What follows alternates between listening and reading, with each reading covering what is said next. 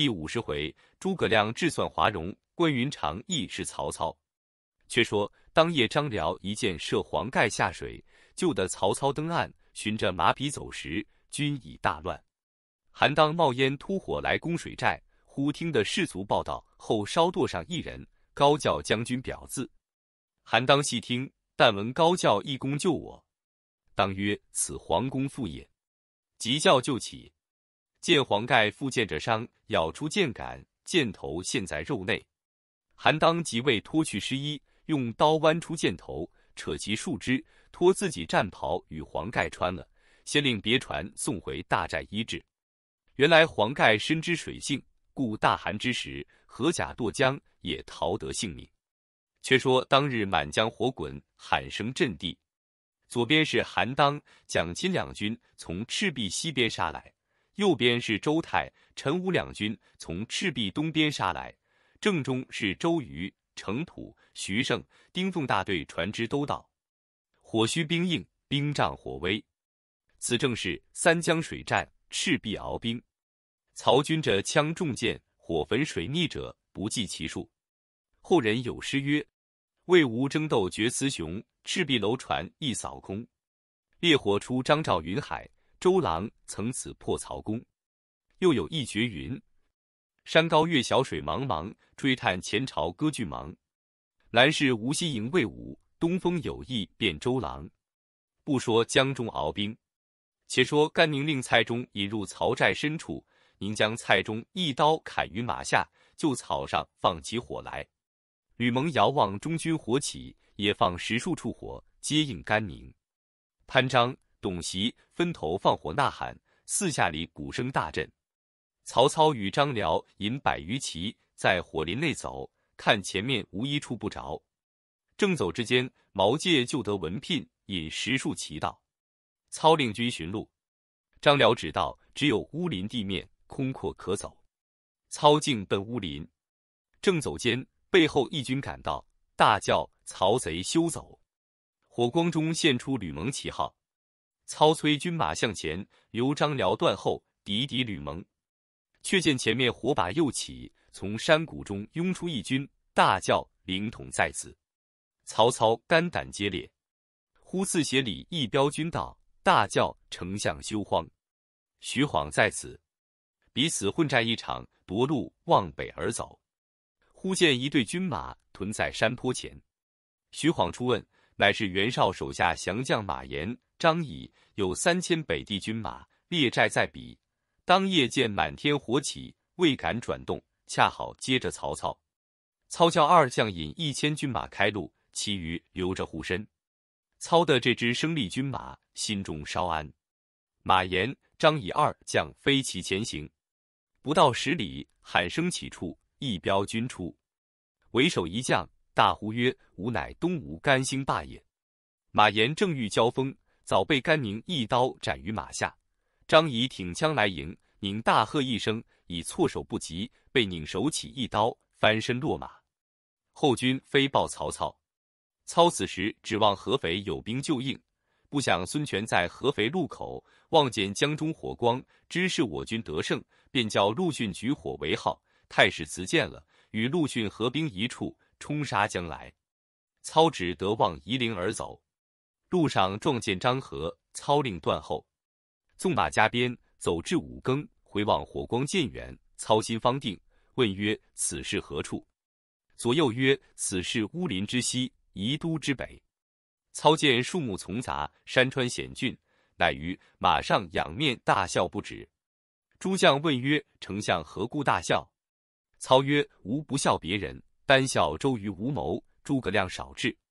若是无用兵之时，预先在这里伏下一军，汝之奈何？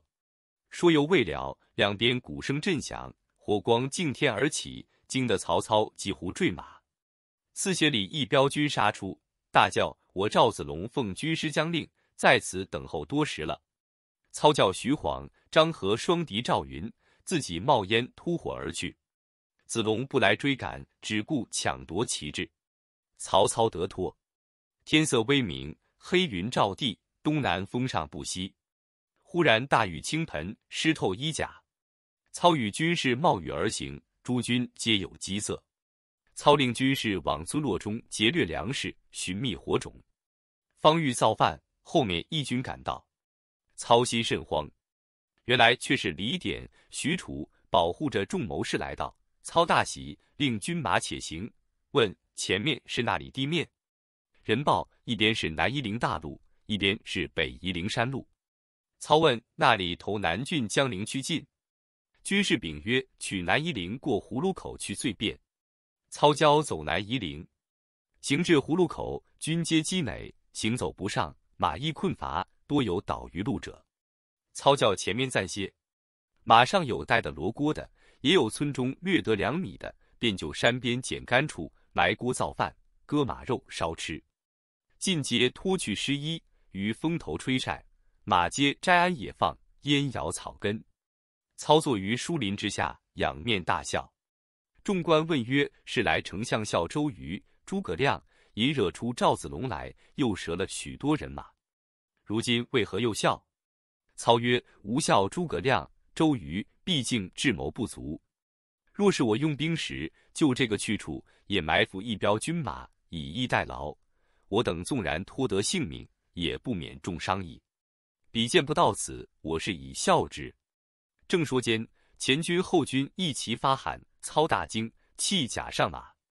众军多有不及收马者。早见四下火焰不和，山口一军摆开。为首乃燕人张翼德，横矛立马，大叫：“操贼，走那里去！”诸军众将见了张飞，尽皆胆寒。许褚骑无鞍马来战张飞，张辽、徐晃二将纵马也来夹攻，两边军马混战作一团。操先拨马走脱，诸将各自脱身。张飞从后赶来，操以礼奔逃，追兵渐远，回顾众将多已带伤。正行时，军士禀曰：“前面有两条路，请问丞相从那条路去？”操问：“那条路近？”军士曰：“大路稍平，却远五十余里；小路投华容道，却近五十余里。只是地窄路险，坑坎难行。”操令人上山观望，回报小路山便有数处烟起，大路并无动静。操叫前军便走华容道小路。诸将曰：“烽烟起处。”必有军马，何故反走这条路？操曰：“岂不闻兵书有云：虚则实之，实则虚之。诸葛亮多谋，故使人于山僻烧烟，使我军不敢从这条山路走。他却伏兵于大路等着。无料已定，偏不叫众他计。诸将皆曰：丞相妙算，人不可及。遂勒兵走华容道。此时人皆击倒，马尽困乏。”焦头烂额者扶侧而行，中箭着枪者勉强而走。一甲湿透，个个不全，军器齐翻，纷纷不整，大半皆是夷陵道上被赶得慌，只骑的秃马，安配衣服，尽皆抛弃。正值隆冬严寒之时，其苦何可胜言？操见前军停马不进，问是何故？回报曰：前面山僻路小，因早晨下雨，坑陷内积水不流。泥陷马蹄，不能前进。操大怒，叱曰：“军旅逢山开路，遇水叠桥，岂有泥泞不堪行之理？”传下号令，叫老弱重伤军士在后慢行，强壮者担土树柴，搬草运炉，填塞道路。勿要及时行动，如违令者斩。众军只得都下马，就路旁砍伐竹木，填塞山路。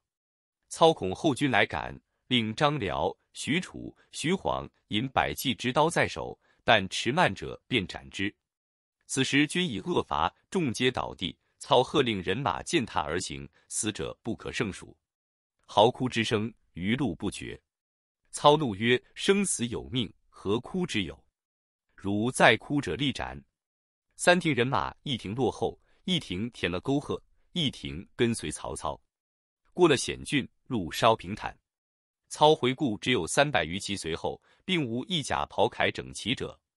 操催速行，众将曰：“马尽乏矣，只好少些。”操曰：“赶到荆州江西未迟。”又行不到数里，操在马上扬鞭大笑。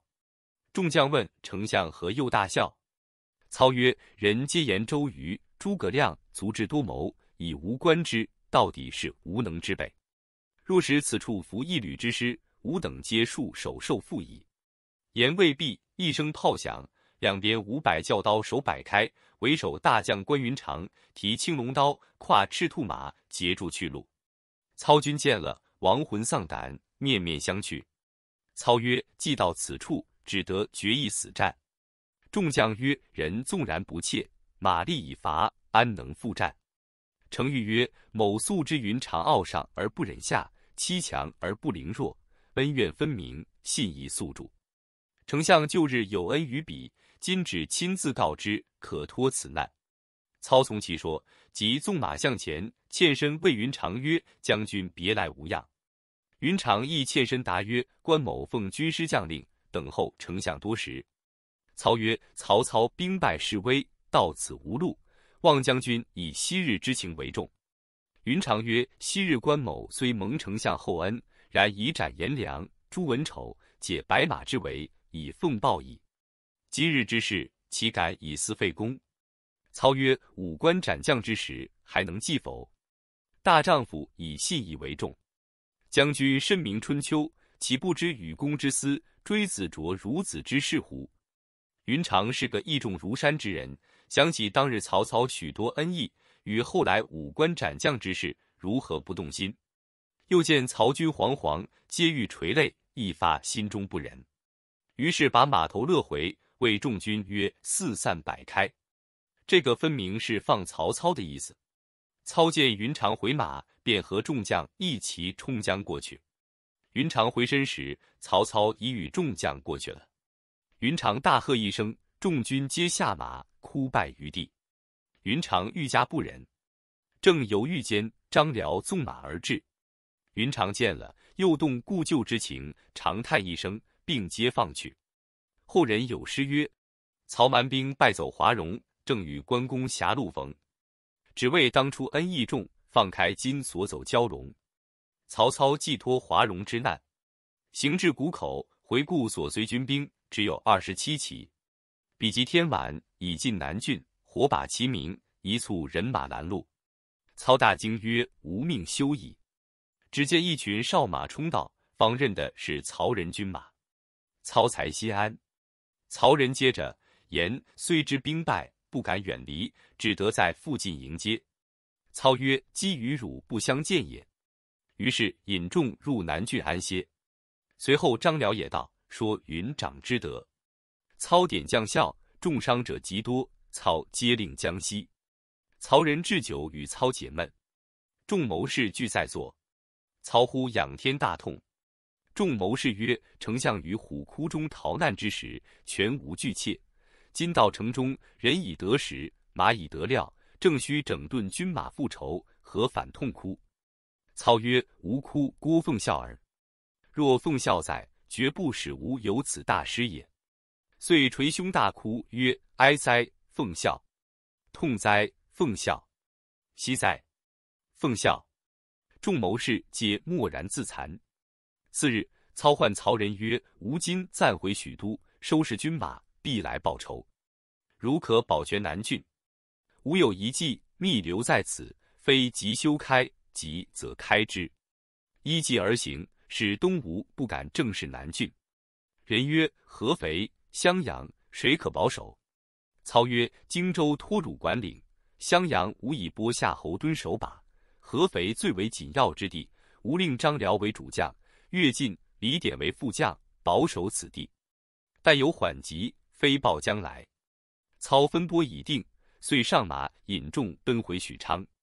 荆州、袁祥、文武各官依旧带回许昌调用。曹仁自遣曹洪据守夷陵、南郡，以防周瑜。却说关云长放了曹操，引军自回。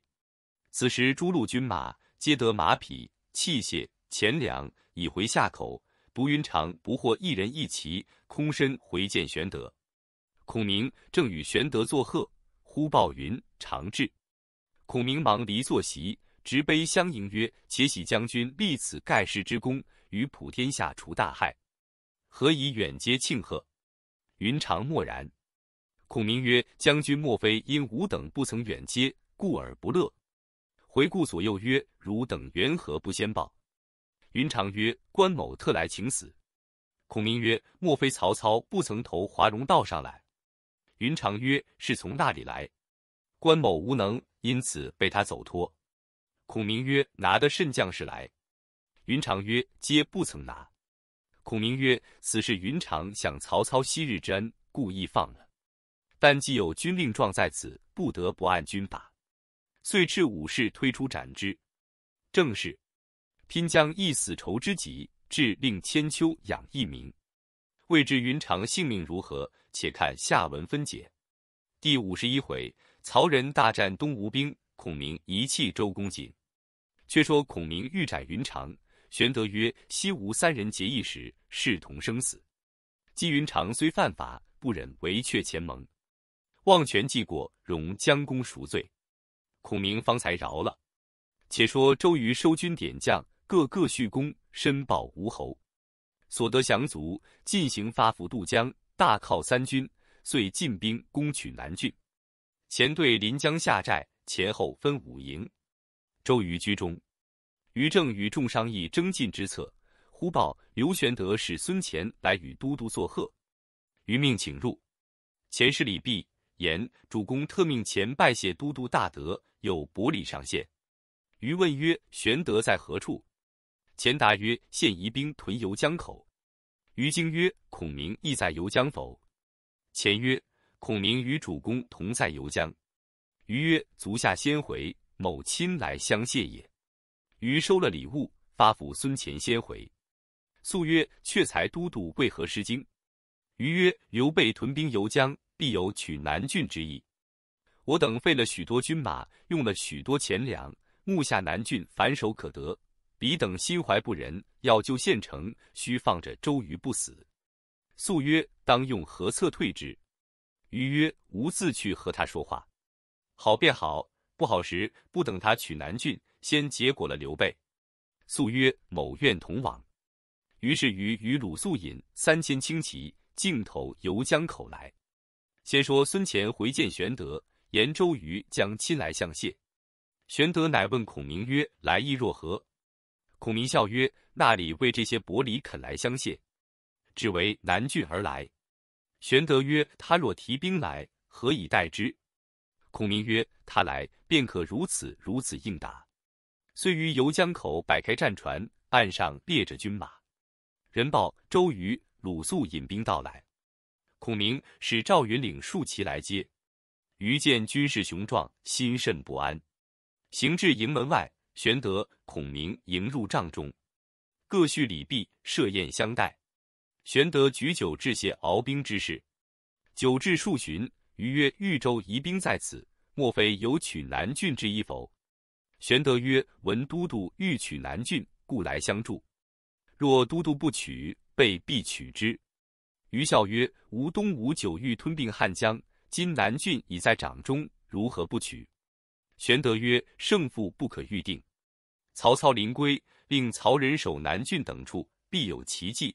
更兼曹仁勇不可当，但恐都督不能取耳。”余曰：“吾若取不得，那时人从攻取。”玄德曰：“子敬、孔明在此为证，都督休悔。”鲁肃踌躇未对。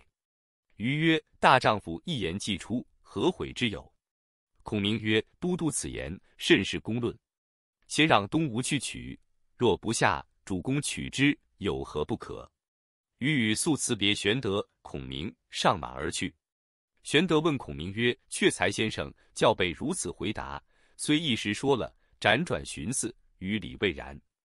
我今孤穷一身，无至足之地，欲得南郡，权且容身。若先叫周瑜取了，城池已属东吴矣。”却如何得住？孔明大笑曰：“当初亮劝主公取荆州，主公不听，今日却想耶？”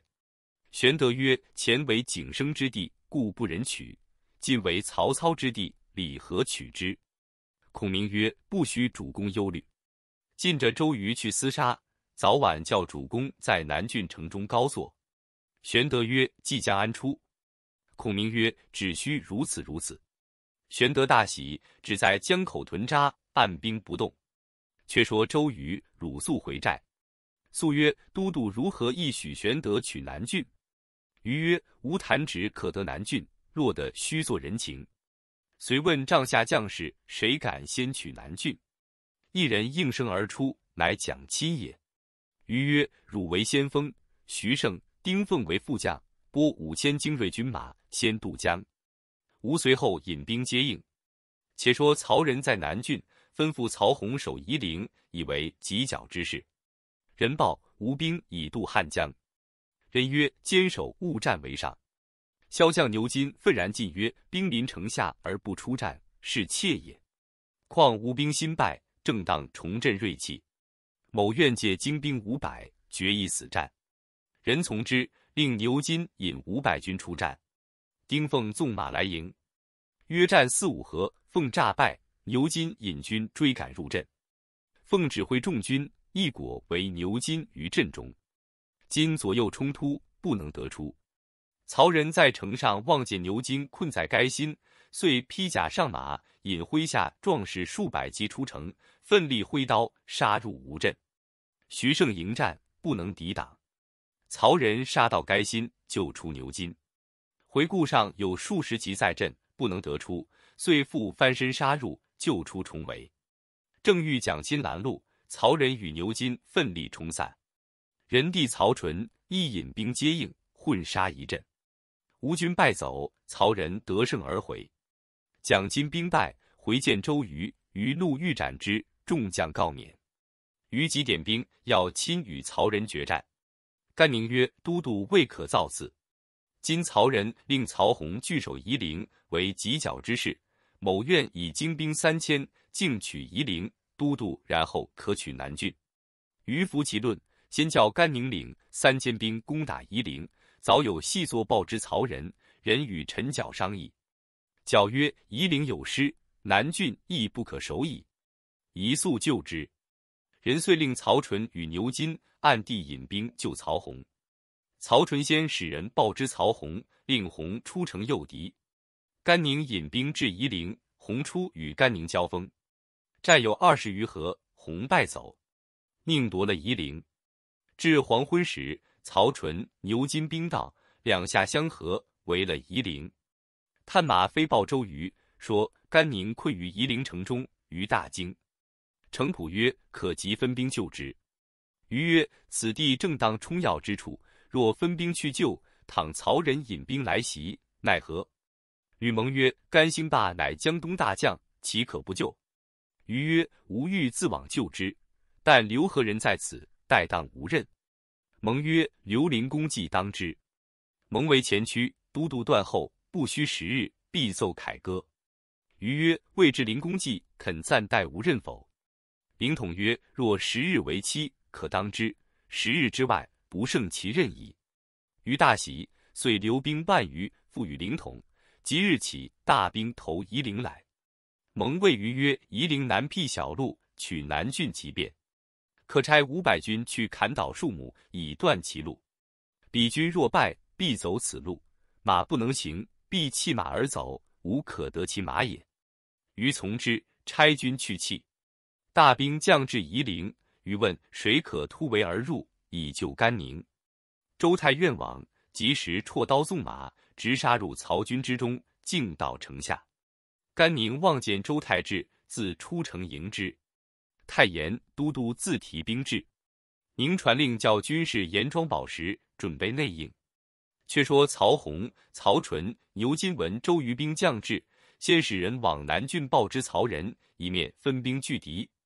及吴兵至，曹兵迎之，比及交锋，甘宁、周泰分两路杀出，曹兵大乱，吴兵四下掩杀。曹洪、曹纯、牛金果然投小路而走。却被乱寨塞道，马不能行，尽皆弃马而走。吴兵得马五百余匹。周瑜驱兵星夜赶到南郡，正遇曹仁军来救夷陵，两军接着混战一场。天色已晚，各自收兵。曹仁回城中与众商议。曹洪曰：“目今失了夷陵，事已危急，何不差丞相一骑观之，以解此危？”曹仁曰：“汝言正合吾意。”遂差书观之，大喜，便传令教五更造饭，平民大小军马尽皆弃城。城上遍插旌旗，虚张声势，军分三门而出。却说周瑜救出甘宁，陈兵于南郡城处，见曹兵分三门而出，于上江台观看，只见女墙边虚硕旌旗，无人守护；又见军士腰下各束缚包裹。于暗忖曹仁必先准备走路，遂下江台号令，分部两军为左右翼，如前军得胜，只顾向前追赶。直待鸣金，方许退步。命城普都后军于亲自引军取城。对阵鼓声响处，曹洪出马搦战于自治门旗下，使韩当出马与曹洪交锋，战到三十余合，洪败走。曹仁自出接战，周泰纵马向迎，斗十余合，人败走，阵势错乱。周瑜挥两翼军杀出，曹军大败。于自引军马追至南郡城下，曹军皆不入城，往西北面走。韩当、周泰引前部尽力追赶。于见城门大开，城上又无人，遂令众军抢城。数十骑当先而入，于在背后纵马加鞭，直入瓮城。陈角在敌楼上望见周瑜亲自入城来，暗暗喝彩道：“丞相妙策如神。”一声梆子响，两边弓弩齐发，势如骤雨。争先入城的都跌入陷坑内。周瑜急勒马回时，被一弩箭正射中左柱，翻身落马。牛金从城中杀出来捉周瑜，徐盛、丁奉二人舍命救去。城中曹兵突出，吴兵自相践踏，落陷坑者无数。程普急收军时，曹仁、曹洪分兵两路杀回。吴兵大败，幸得凌统引义军从刺斜里杀来，敌住曹兵。曹仁引得胜兵进城，程普收败军回寨。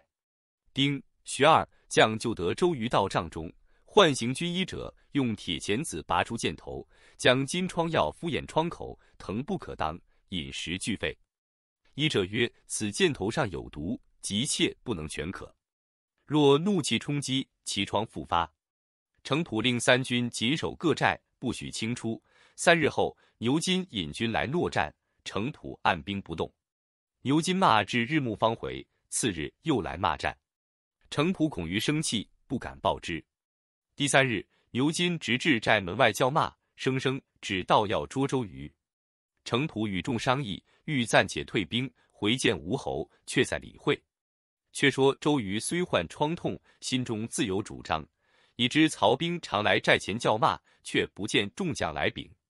一日，曹仁自引大军，擂鼓呐喊，前来搦战。程普拒住不出。周瑜唤众将入帐，问曰：“何处鼓噪呐喊？”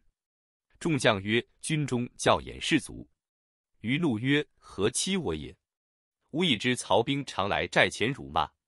程德谋既同掌兵权，何故作事？”遂命人请程普入帐问之。普曰：“吾见公瑾病疮，医者延误触怒，故曹兵落战，不敢报之。”余曰：“公等不战，主意若何？”普曰：“众将皆欲收兵，暂回江东，待弓箭疮平复，再作驱处。”余听罢，于床上愤然跃起，曰：“大丈夫既识军路，当死于战场，以马革裹尸还，幸也。岂可为我一人而废国家大事乎？”言讫。即披甲上马，诸军众将无不骇然，遂引数百骑出营前，望见曹兵已不成阵势，曹仁自立马于门旗下，扬鞭大骂曰：“周瑜孺子，料必横腰，再不敢正去我兵。”骂犹未绝，于从群骑内突然出曰：“曹仁匹夫，见周郎否？”曹军看见，尽皆惊骇。曹仁回顾众将曰：“可大骂之。”众军厉声大骂，周瑜大怒，使潘璋出战。未及交锋，周瑜忽大叫一声，口中喷血，坠于马下。曹兵冲来，众将向前抵住，混战一场，救起周瑜，回到帐中。程普问曰：“都督贵体若何？”瑜密谓普曰：“此吾之计也。”普曰：“即将安出？”瑜曰：“吾身本无甚痛楚。”吾所以为此者，欲令曹兵知我病危，必然欺敌，可使心腹军士去城中诈降，说吾已死。今夜曹人必来劫寨，吾却于四下埋伏以应之，则曹仁可一鼓而擒也。程普曰：“此计大妙。”遂就帐下举起哀声，众军大惊。尽传言都督箭疮大发而死，各寨尽皆挂孝。却说曹仁在城中与众商议，言周瑜怒气冲发，金疮崩裂，以致口中喷血，坠于马下，不久必亡。正论间，忽报吴寨内有十数个军士来降，中间亦有二人，原是曹兵被掳过去的。曹仁忙唤入问之，军士曰：“今日周瑜阵前金疮碎裂，归寨即死。今众将皆以挂孝举哀，我等接受城土之辱，故特归降，便报此事。”曹仁大喜，随即商议，今晚便去劫寨，夺周瑜之师，斩其首级，送赴许都。陈缴曰：“此计速行，不可迟误。”曹仁遂令牛金为先锋，自为中军。曹洪、曹纯为合后，只留陈角领些少军士守城，其余军兵尽起。出更后出城，径投周瑜大寨。来到寨门，不见一人，但见虚插旗枪而已。情知中计，急忙退军。四下炮声齐发，东边韩当、蒋金杀来，西边周泰、潘璋杀来，南边徐盛、丁奉杀来，北边陈武、吕蒙杀来。曹兵大败，三路军皆被冲散，首尾不能相救。曹仁引十数骑杀出重围，正遇曹洪，遂引败残军马一同奔走。杀到五更，离南郡不远，一声鼓响，凌统又引一军拦住去路，截杀一阵。曹仁引军刺斜而走，又遇甘宁大杀一阵。曹仁不敢回南郡，径投襄阳大路而行。吴军赶了一程，自回。周瑜、程普收住众军，竟到南郡城下，见旌旗不满，敌楼上一将叫曰：“都督少罪，吾奉军师将令，已取城了。吾乃常山赵子龙也。”周瑜大怒，便命攻城。城上乱箭射下，余命且回军商议，使甘宁引数千军马进取荆州，凌统引数千军马进取襄阳，然后却再取南郡未迟。正分拨间，忽然探马捷来报说，诸葛亮自得了南郡，遂用兵符，星夜炸掉荆州守城军马来救，却叫张飞袭了荆州。又一探马飞来报说，夏侯惇在襄阳被诸葛亮差人击兵符，诈称曹仁求救，又惇引兵出，却叫云长袭取了襄阳。二处城池全不费力，皆属刘玄德矣。周瑜曰：“诸葛亮怎得兵符？”程普曰：“他拿住陈角，兵符自然尽属之矣。”周瑜大叫一声，金疮迸裂。正是：“集郡城池无我分，一场辛苦为谁忙？未知性命如何，且看下文分解。”第五十二回，诸葛亮致辞鲁肃，赵子龙计取贵阳。却说周瑜见孔明袭了南郡，又闻他袭了荆襄，如何不气？气伤见疮，半晌方苏。众将再三劝解，瑜曰：“若不杀诸葛尊夫，怎息我心中怨气？程德谋可助我攻打南郡，定要夺还东吴。”正义间，鲁肃至，瑜谓之曰：“吾欲起兵与刘备、诸葛亮共决雌雄，复夺城池。子敬信助我。”鲁肃曰：“不可。方今与曹操相持，尚未分成败，主公献公合肥不下。”不争自家互相吞并，倘曹兵乘虚而来，其势危矣。况刘玄德就曾与曹操相后，若逼得紧急，陷了城池，一同攻打东吴，汝之奈何？余曰：吾等用计策，损兵马，费钱粮，他去屠县城，岂不可恨？肃曰：公谨且耐。荣某亲见玄德，将礼来说他。若说不通，那时动兵未迟。诸将曰：“子敬之言甚善。”于是鲁肃引从者径投南郡来，到城下叫门。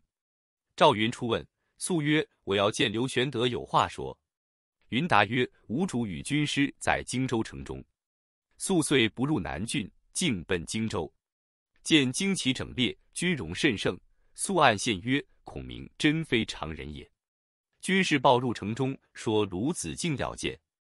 孔明令大开城门，皆速入衙。讲礼毕，分宾主而坐。茶罢，素曰：“无主无侯，与都督公瑾、教某再三申议皇叔。前者操引百万之众，名下江南，时欲来图皇叔，幸得东吴杀退曹兵，救了皇叔。所有荆州九郡，何当归于东吴？今皇叔用诡计夺占荆襄，使江东空废钱粮军马，而皇叔安受其利，恐于理未顺。”孔明曰：“子敬乃高明之士，何故亦出此言？常言道，务必归主。荆襄九郡非东吴之地，乃留景生之基也。吴主故景生之地也。景生虽亡，其子尚在，以叔辅职而取荆州，有何不可？”素曰：“若果西公子留其占据，尚有可解。今公子在江夏，须不在这里。”孔明曰：“子敬欲见公子乎？”便命左右请公子出来。只见两从者从屏风后扶出刘琦，其谓素曰：“病躯不能失礼，子敬勿罪。”鲁肃吃了一惊，默然无语。良久，言曰：“公子若不在，便如何？”孔明曰：“公子在一日，守一日；若不在，别有商议。”素曰：“若公子不在，须将城池还我东吴。”孔明曰：“子敬之言是也。”遂设宴相待。宴罢，素辞出城，连夜归寨，具言前事。余曰：“刘琦正青春年少，如何便得他死？这荆州何日得还？”素曰：“都督放心，只在鲁肃身上，勿要讨荆襄还东吴。”余曰：“子敬有何高见？”素曰：“吾观刘琦过于酒色，病入膏肓。”现今面色羸瘦，气喘呕血，不过半年，其人必死。那时王取荆州，刘备须无德推故。周瑜犹自愤气未消，呼孙权遣使至，于令请入。使曰：“主公为合肥，累战不捷，特令都督收回大军，且拨兵赴合肥相助。”周瑜只得班师回柴桑养病，令程普部领战船士卒来合肥听孙权调用。却说刘玄德自得荆州、南郡、襄阳，心中大喜，商议久远之计。忽见一人上厅献策，视之，乃伊己也。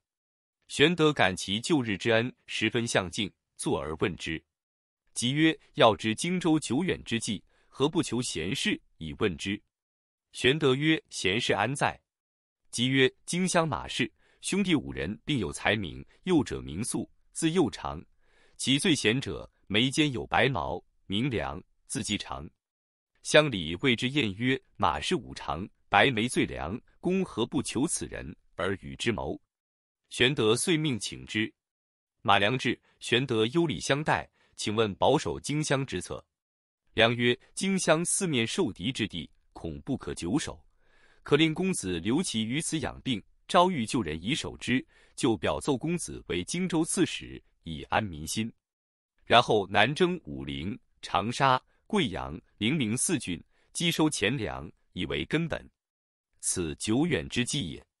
玄德大喜，遂问四郡当先取何郡？良曰：湘江之西，零陵最近，可先取之，次取武陵，然后湘江之东取贵阳、长沙为后。玄德遂用马良为从事，依其复之。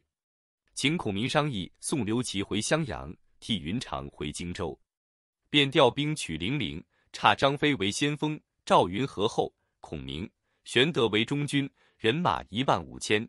刘云长守荆州、糜竺，刘封守江陵。却说零陵太守刘度闻玄德军马到来，乃与其子刘贤商议。贤曰：“父亲放心，他虽有张飞、赵云之勇。”我本州上将邢道荣力敌万人，可以抵对。刘度遂命刘贤与邢道荣引兵万余，离城三十里，依山靠水下寨。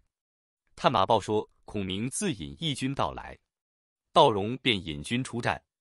两阵对员，道荣出马，手使开山大斧，厉声高叫：“反贼安敢侵我境界！”只见对阵中一簇黄旗出，旗开处推出一辆四轮车，车中端坐一人，头戴冠巾，身披鹤氅，手执羽扇，用扇招行道荣曰：“吾乃南阳诸葛孔明也。”曹操引百万之众，被无聊师小计杀得片甲不回。汝等岂堪与我对敌？我今来招安汝等，何不早降？道荣大笑曰：“赤壁鏖兵，乃周郎之谋也。干汝何事？敢来狂语？”伦大夫径奔孔明，孔明便回车往阵中走，阵门复闭。道荣直冲杀过来，阵势即分两下而走。道荣遥望中央一簇黄旗，料是孔明，乃指望黄旗而赶。抹过山脚，黄旗扎住，忽得中央分开，不见四轮车，只见一将挺矛跃马，大喝一声，直取道荣，乃张翼德也。道荣轮大斧来迎，战不数合，气力不佳，拨马便走。翼德随后赶来，喊声大震，两下伏兵齐出，道荣舍死冲过，前面一员大将。拦住去路，大叫：“认得常山赵子龙否？”道荣料敌不过，又无处奔走，只得下马请降。子龙复来寨中见玄德、孔明，玄德喝叫斩首。孔明即止之，问道荣曰：“汝若与我捉了刘贤，便准你投降。”道荣连声愿往。孔明曰：“你用何法捉他？”道荣曰：“军师若肯放某回去，某自有巧说。”今晚军师调兵劫寨，某为内应，活捉刘贤，献与军师。刘贤既擒，刘度自降矣。玄德不信其言。孔明曰：“行将军非谬言也。”遂放道荣归。道荣得放回寨，将前事实诉刘贤。贤曰：“如之奈何？”道荣曰：“可将计就计。今夜将兵伏于寨外，寨中虚立旗幡，待孔明来劫寨。”救而擒之，刘贤依计。当夜二更，果然有一彪军到寨口，每人各带草把，一齐放火。刘贤、道荣两下杀来，放火军便退。刘贤、道荣两军乘势追赶，赶了十余里，军皆不见。刘贤、道荣大惊，急回本寨，只见火光未灭，寨中突出一将，乃张翼德也。刘贤叫道荣不可入寨。却去劫孔明寨变了，于是复回军，走不十里，赵云引一军刺斜里杀出，一枪刺道荣于马下。刘贤即拨马奔走，背后张飞赶来，活捉过马，绑缚见孔明。贤告曰：“邢道荣教某如此，实非本心也。”孔明令侍其父，羽衣穿了，赐酒压惊，叫人送入城说父投降。如其不降。打破城池，满门尽诛。刘贤回零陵见父刘度，备述孔明之德，劝父投降。杜从之，遂于城上竖起将旗，大开城门，击捧印绶出城，径投玄德大寨纳降。孔明教刘度仍为郡守，其子刘贤赴荆州随军办事。零陵一郡居民尽皆喜悦。玄德入城安抚已毕，赏劳三军。乃问众将曰：“零陵已取了，贵阳郡何人敢取？”赵云应曰：“某愿往。”张飞愤然出曰：“非亦愿往。”二人相争。孔明曰：“终是子龙先应，只叫子龙去。”张飞不服，定要去取。孔明教拈烟，拈着的便去。又是子龙拈着。张飞怒曰：“我并不要人相帮，只独领三千军去稳取城池。”赵云曰：“某也只领三千军去，如不得成，愿受军令。”孔明大喜，择了军令状，选三千精兵赴赵云去。张飞不服，玄德喝退。赵云领了三千人马，径往贵阳进发。早有探马报知贵阳太守赵范，范即聚众商议。管军校尉陈英、鲍龙愿领兵出战。原来二人都是贵阳岭山乡猎户出身。陈英会使飞叉，暴龙曾射杀双虎，二人自恃勇力，乃对赵范曰：“刘备若来，某二人愿为前部。”赵范曰：“我闻刘玄德乃大汉皇叔，更兼孔明多谋，关张吉勇，金领兵来的赵子龙，在当阳长坂百万军中，如入无人之境。我贵阳能有多少人马？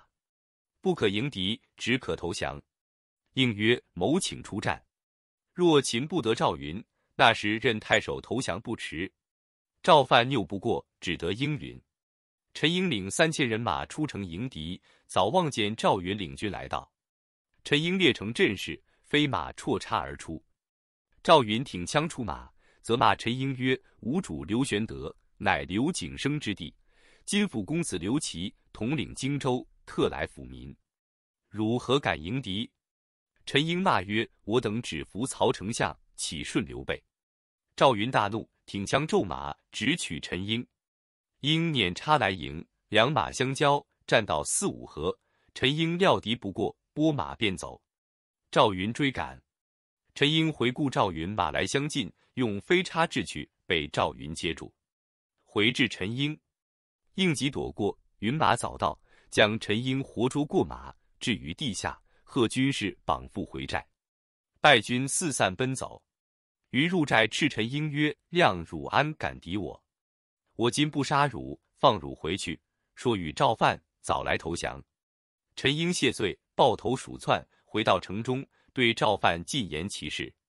范曰：“我本欲降，汝强要战，以致如此。”遂斥退陈英，击捧印绶，引十数骑出城头大寨纳降。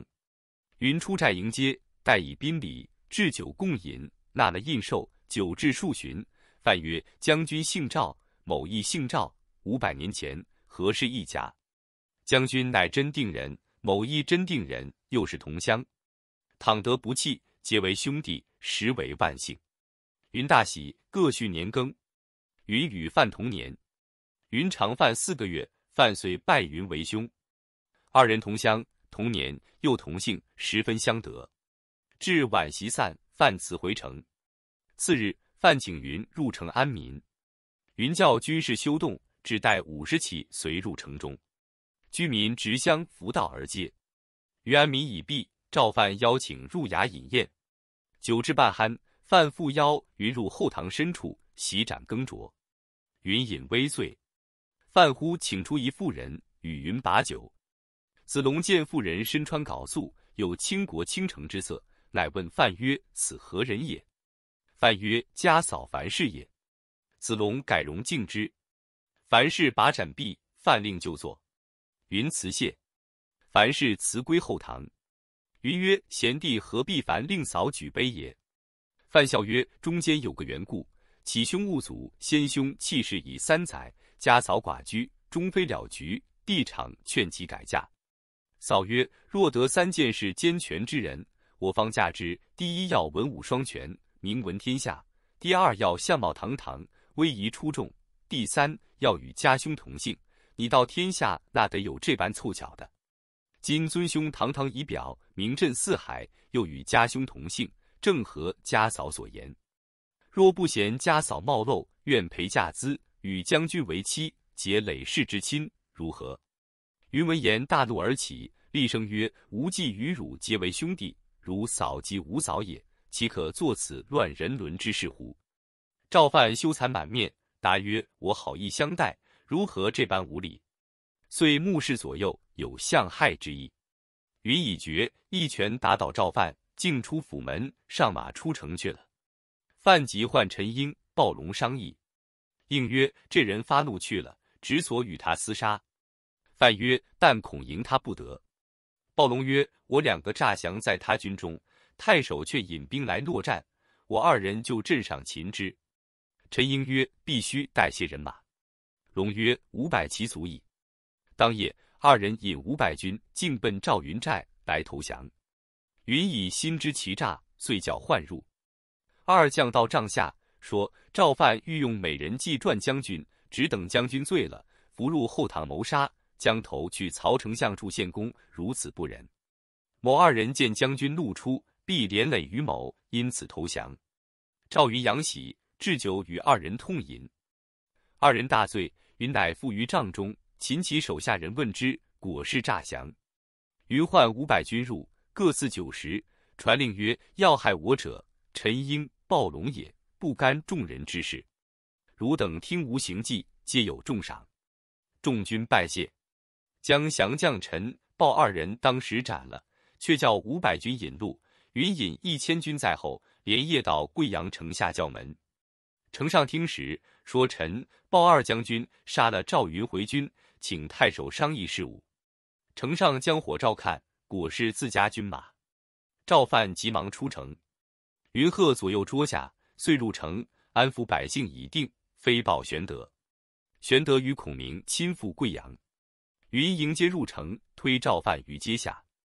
孔明问之，范被言以扫许驾之事。孔明谓云曰：“此亦美事。”公何如此？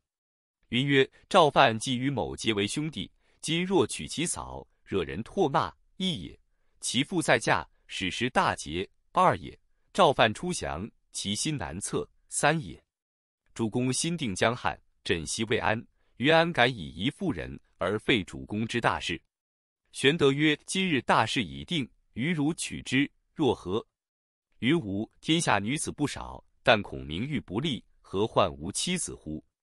玄德曰：“子龙真丈夫也。”遂是赵范，仍令为贵阳太守，重赏赵云。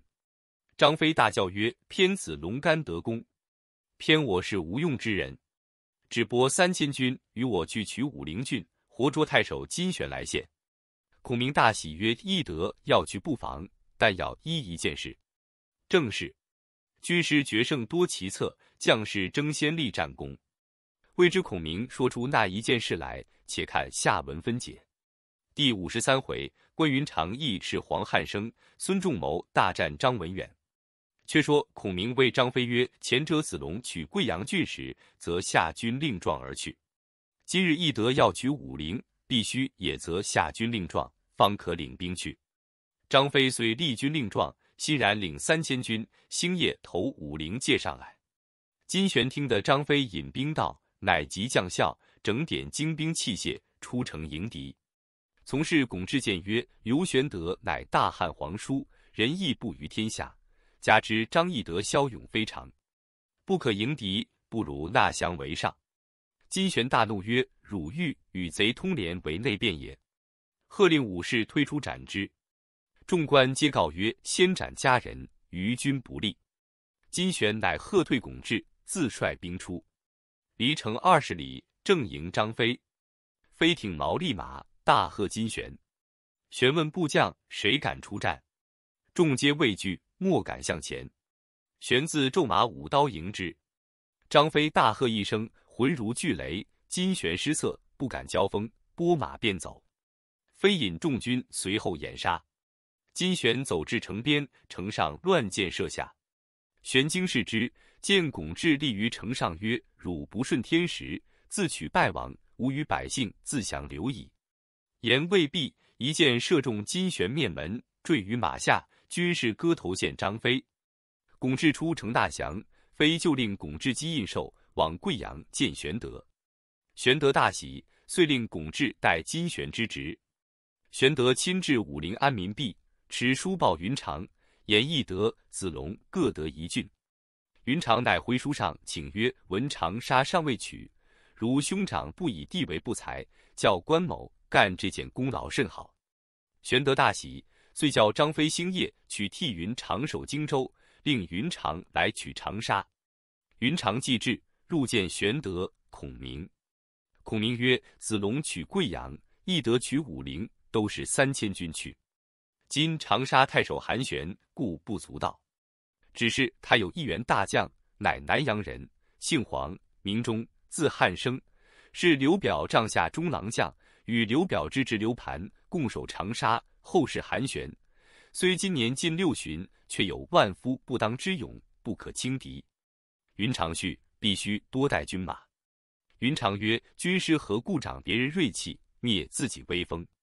良义老卒。”何足道哉？关某不需用三千军，只消本部下五百名教刀手，决定斩黄忠、韩玄之首，献来麾下。玄德苦挡，云长不依，只领五百教刀手而去。孔明谓玄德曰：“云长轻敌黄忠，只恐有失，主公当往接应。”玄德从之，随后引兵望长沙进发。却说长沙太守韩玄平生性急，轻于杀戮，众皆恶之。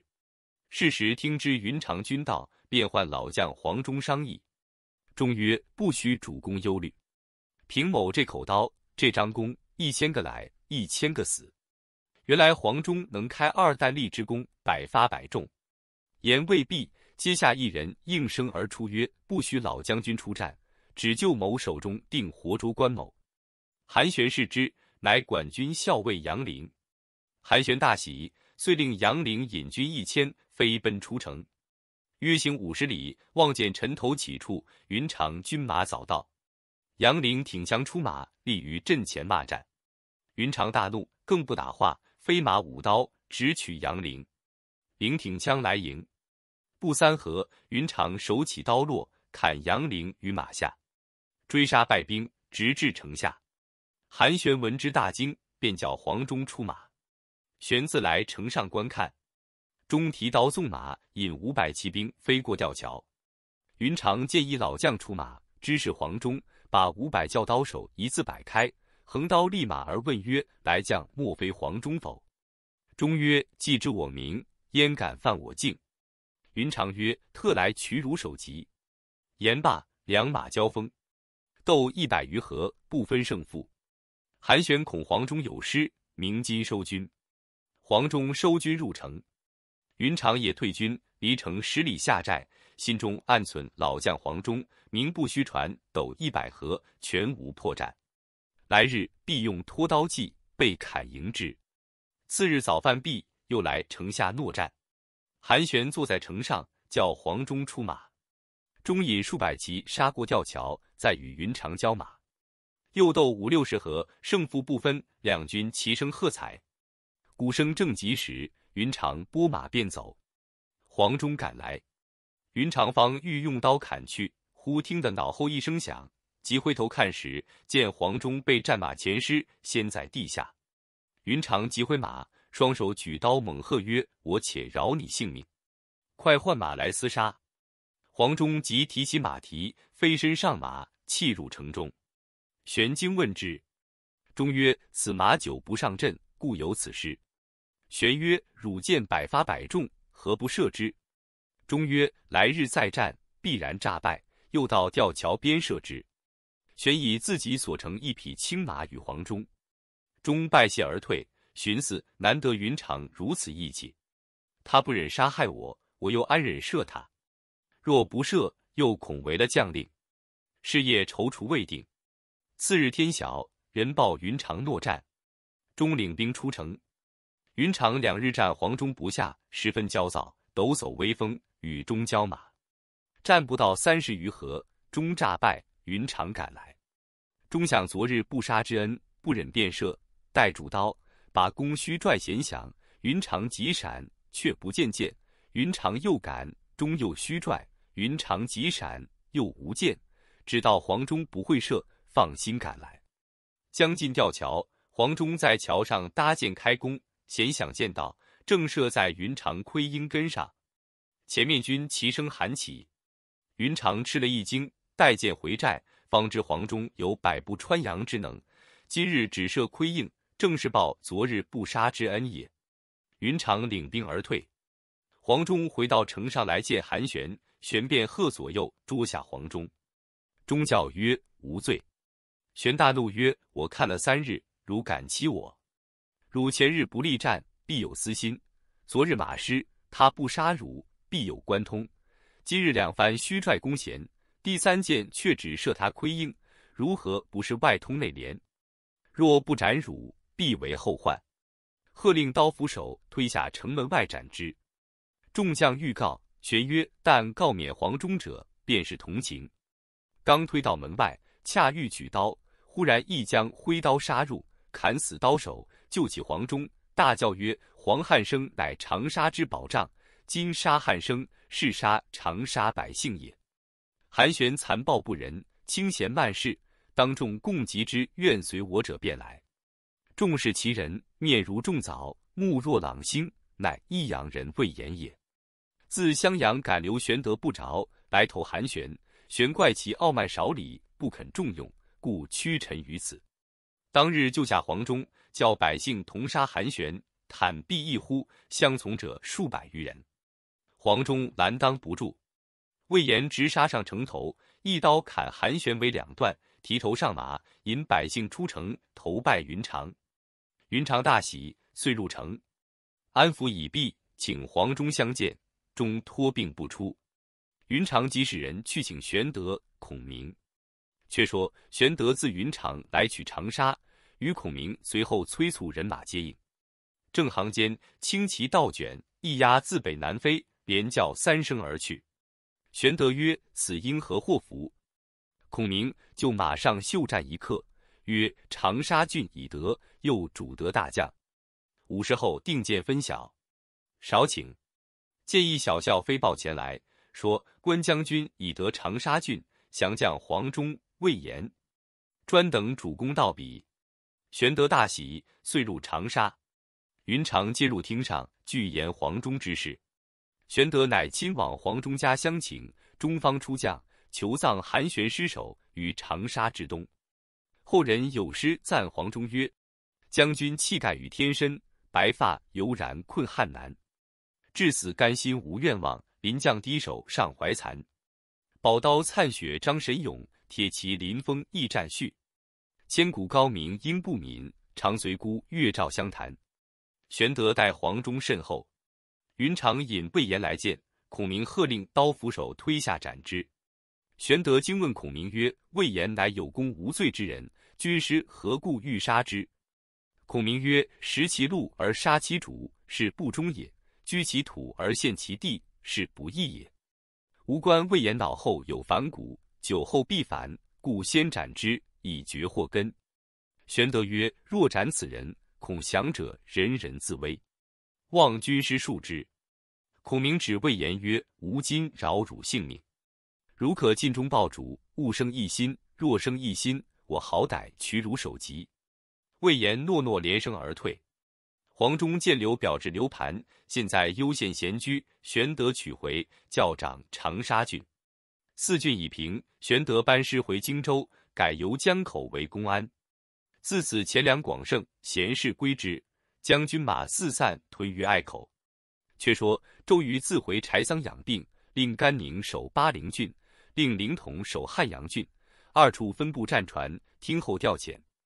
程普引其余将士投合肥县来。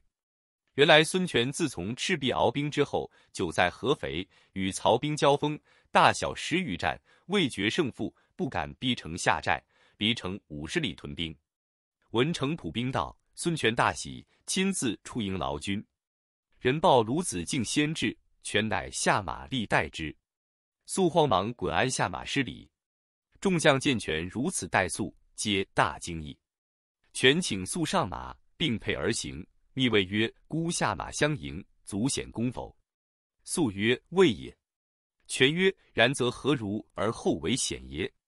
肃曰：“愿明公威德加于四海，总括九州，克成帝业，使宿名书竹帛，是为贤矣。”全府长大笑。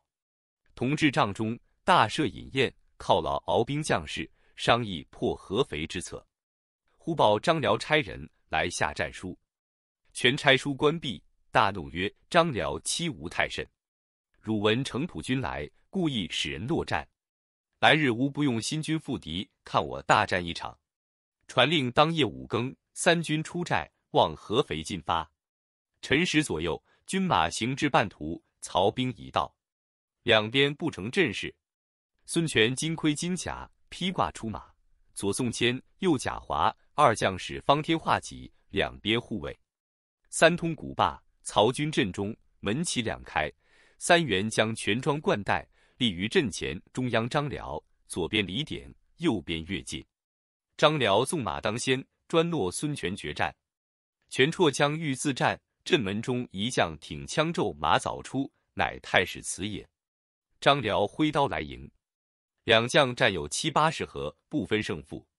曹阵上李典谓乐进曰：“对面金盔者，孙权也。若捉得孙权，足可与八十三万大军报仇。”说犹未了，乐进一骑马，一口刀，从刺血李靖取孙权，如一道电光，飞至面前，手起刀落。宋谦、贾华即将画戟遮架，刀到处，两只戟齐断，只将戟杆往马头上打。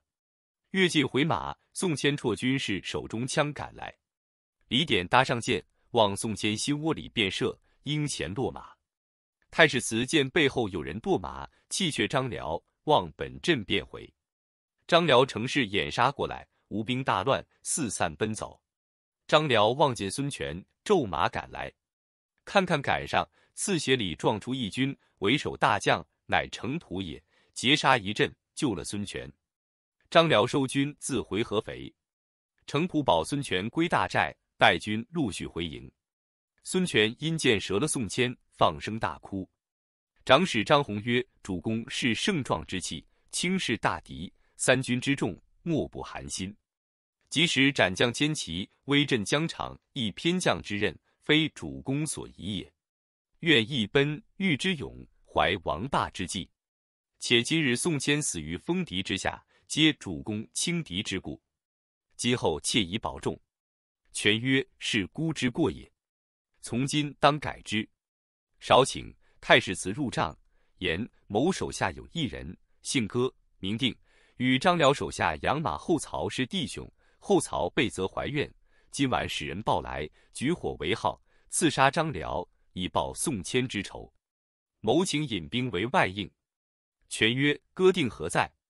太史慈曰：“已混入合肥城中去了。”某愿起五千兵去。诸葛瑾曰：“张辽多谋，恐有准备。”不可造次。太史慈坚持要行，权因伤感宋谦之死，急要报仇，遂令太史慈引兵五千去为外应。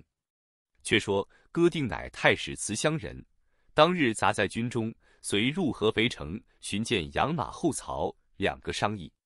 哥定曰：“我已使人报太史慈将军去了，今夜必来接应。你如何用事？”后曹曰：“此间离中军较远。”夜间急不能进，只就草堆上放起一把火。你去前面叫反，城中兵乱，就里刺杀张辽，余军自走也。歌定曰：“此计大妙。”使夜张辽得胜回城，赏劳三军，传令不许解甲宿睡。左右曰：“今日全胜，吴兵远遁，将军何不卸甲安息？”辽曰：“非也，为将之道，勿以胜为喜，勿以败为忧。”倘吴兵夺我吴备，乘虚攻击，何以应之？今夜防备，当比每夜更加谨慎。说犹未了，后寨火起，一片声叫反，报者如麻。张辽出帐上马，唤亲从将校十数人，当道而立。左右曰：“喊声甚急，可往观之。”辽曰：“岂有一城皆反者？此事造反之人，故经军事耳。如乱者，先斩。”无一时，李典擒歌定，并后曹至。辽寻得其情，立斩于马前。只听得城门外鸣锣击鼓，喊声大震。辽曰：“此事无兵外应，可就计破之。”便令人于城门内放起一把火，众皆叫反，大开城门，放下吊桥。太史慈见城门大开，只到内便，挺枪纵马先入。城上一声炮响，乱箭射下。太史慈急退，身中数箭，背后李典跃进杀出，吴兵折其大半，程氏只赶到寨前。陆逊、董袭杀出，救了太史慈。曹兵自回。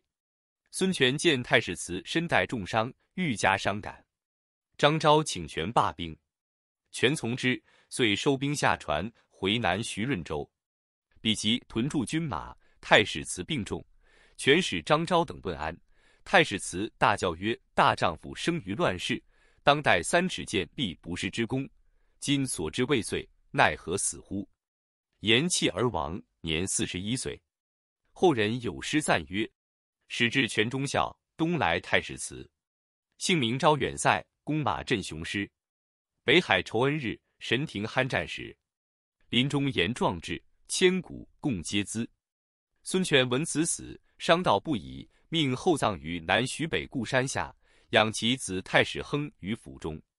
却说玄德在荆州整顿军马，闻孙权合肥兵败，已回南徐与孔明商议。孔明曰：“亮夜观星象，见西北有星坠地，必应者一皇族。”正言间，忽报公子刘琦病亡。玄德闻之，痛哭不已。孔明劝曰：“生死分定，主公勿忧，恐伤贵体。千里大事，可即差人到彼守御城池，并料理葬事。”玄德曰：“谁可去？”孔明曰：“非云长不可。”及时，便叫云长前去襄阳保守。玄德曰：“今日刘琦已死，东吴必来讨荆州，如何对答？”孔明曰：“若有人来，亮自有言对答。”过了半月，人报东吴鲁肃特来吊丧。正是：先将计策安排定，只等东吴使命来。未知孔明如何对答，且看下文分解。第五十四回，吴国太佛寺看新郎，刘皇叔洞房续佳偶。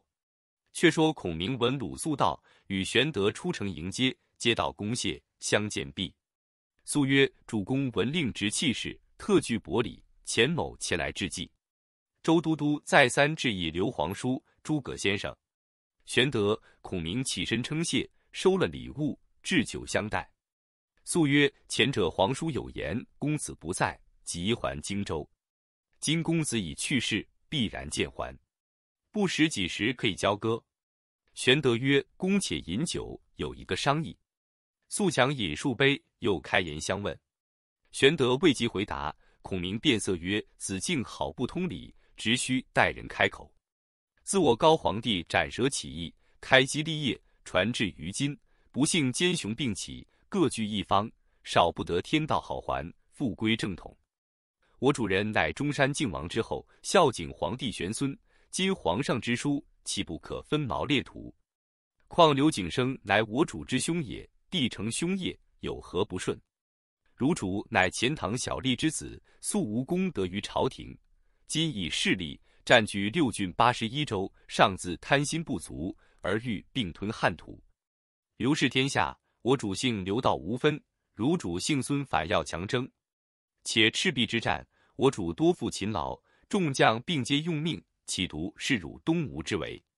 若非我借东南风，周郎安能斩半筹之功。江南一破，休说二乔至于铜雀宫，虽功等家小，亦不能保。是来我主人不及答应者，以子敬乃高明之士，不待细说。何公不察之甚也？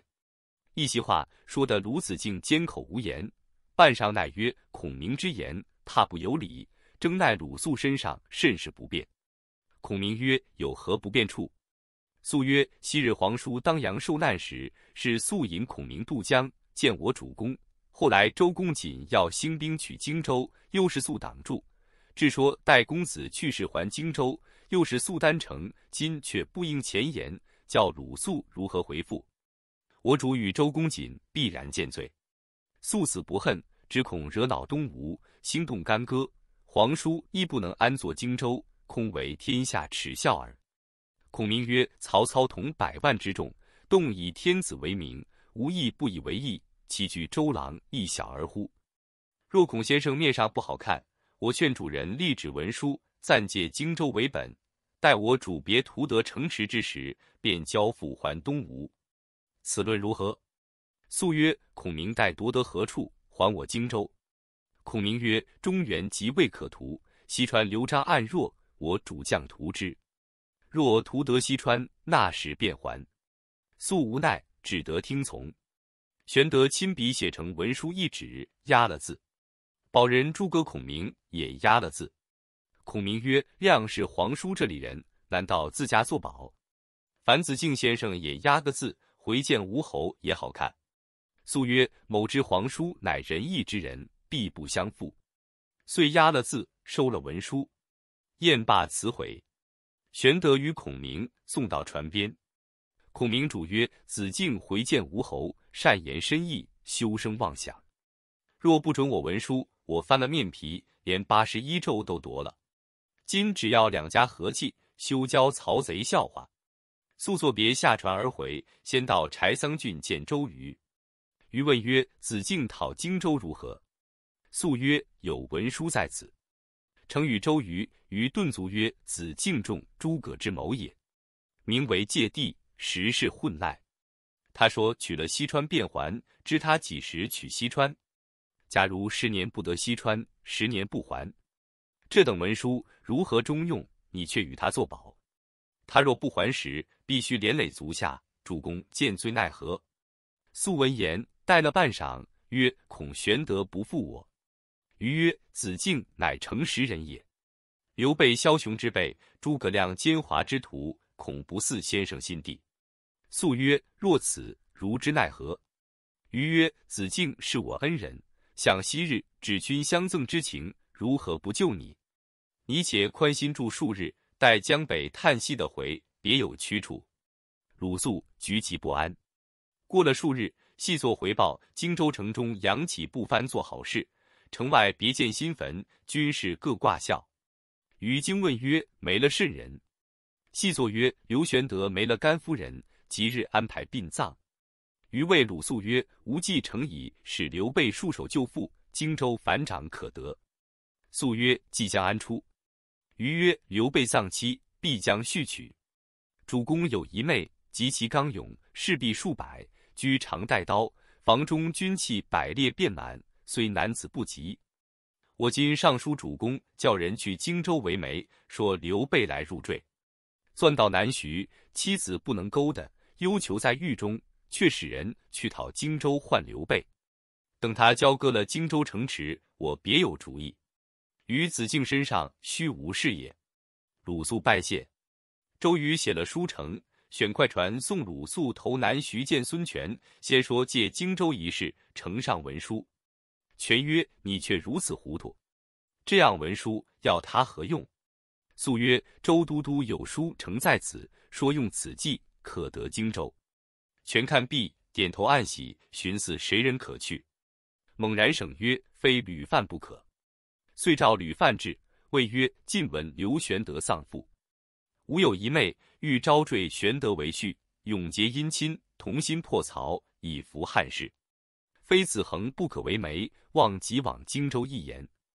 范领命，即日收拾船只，带数个从人往荆州来。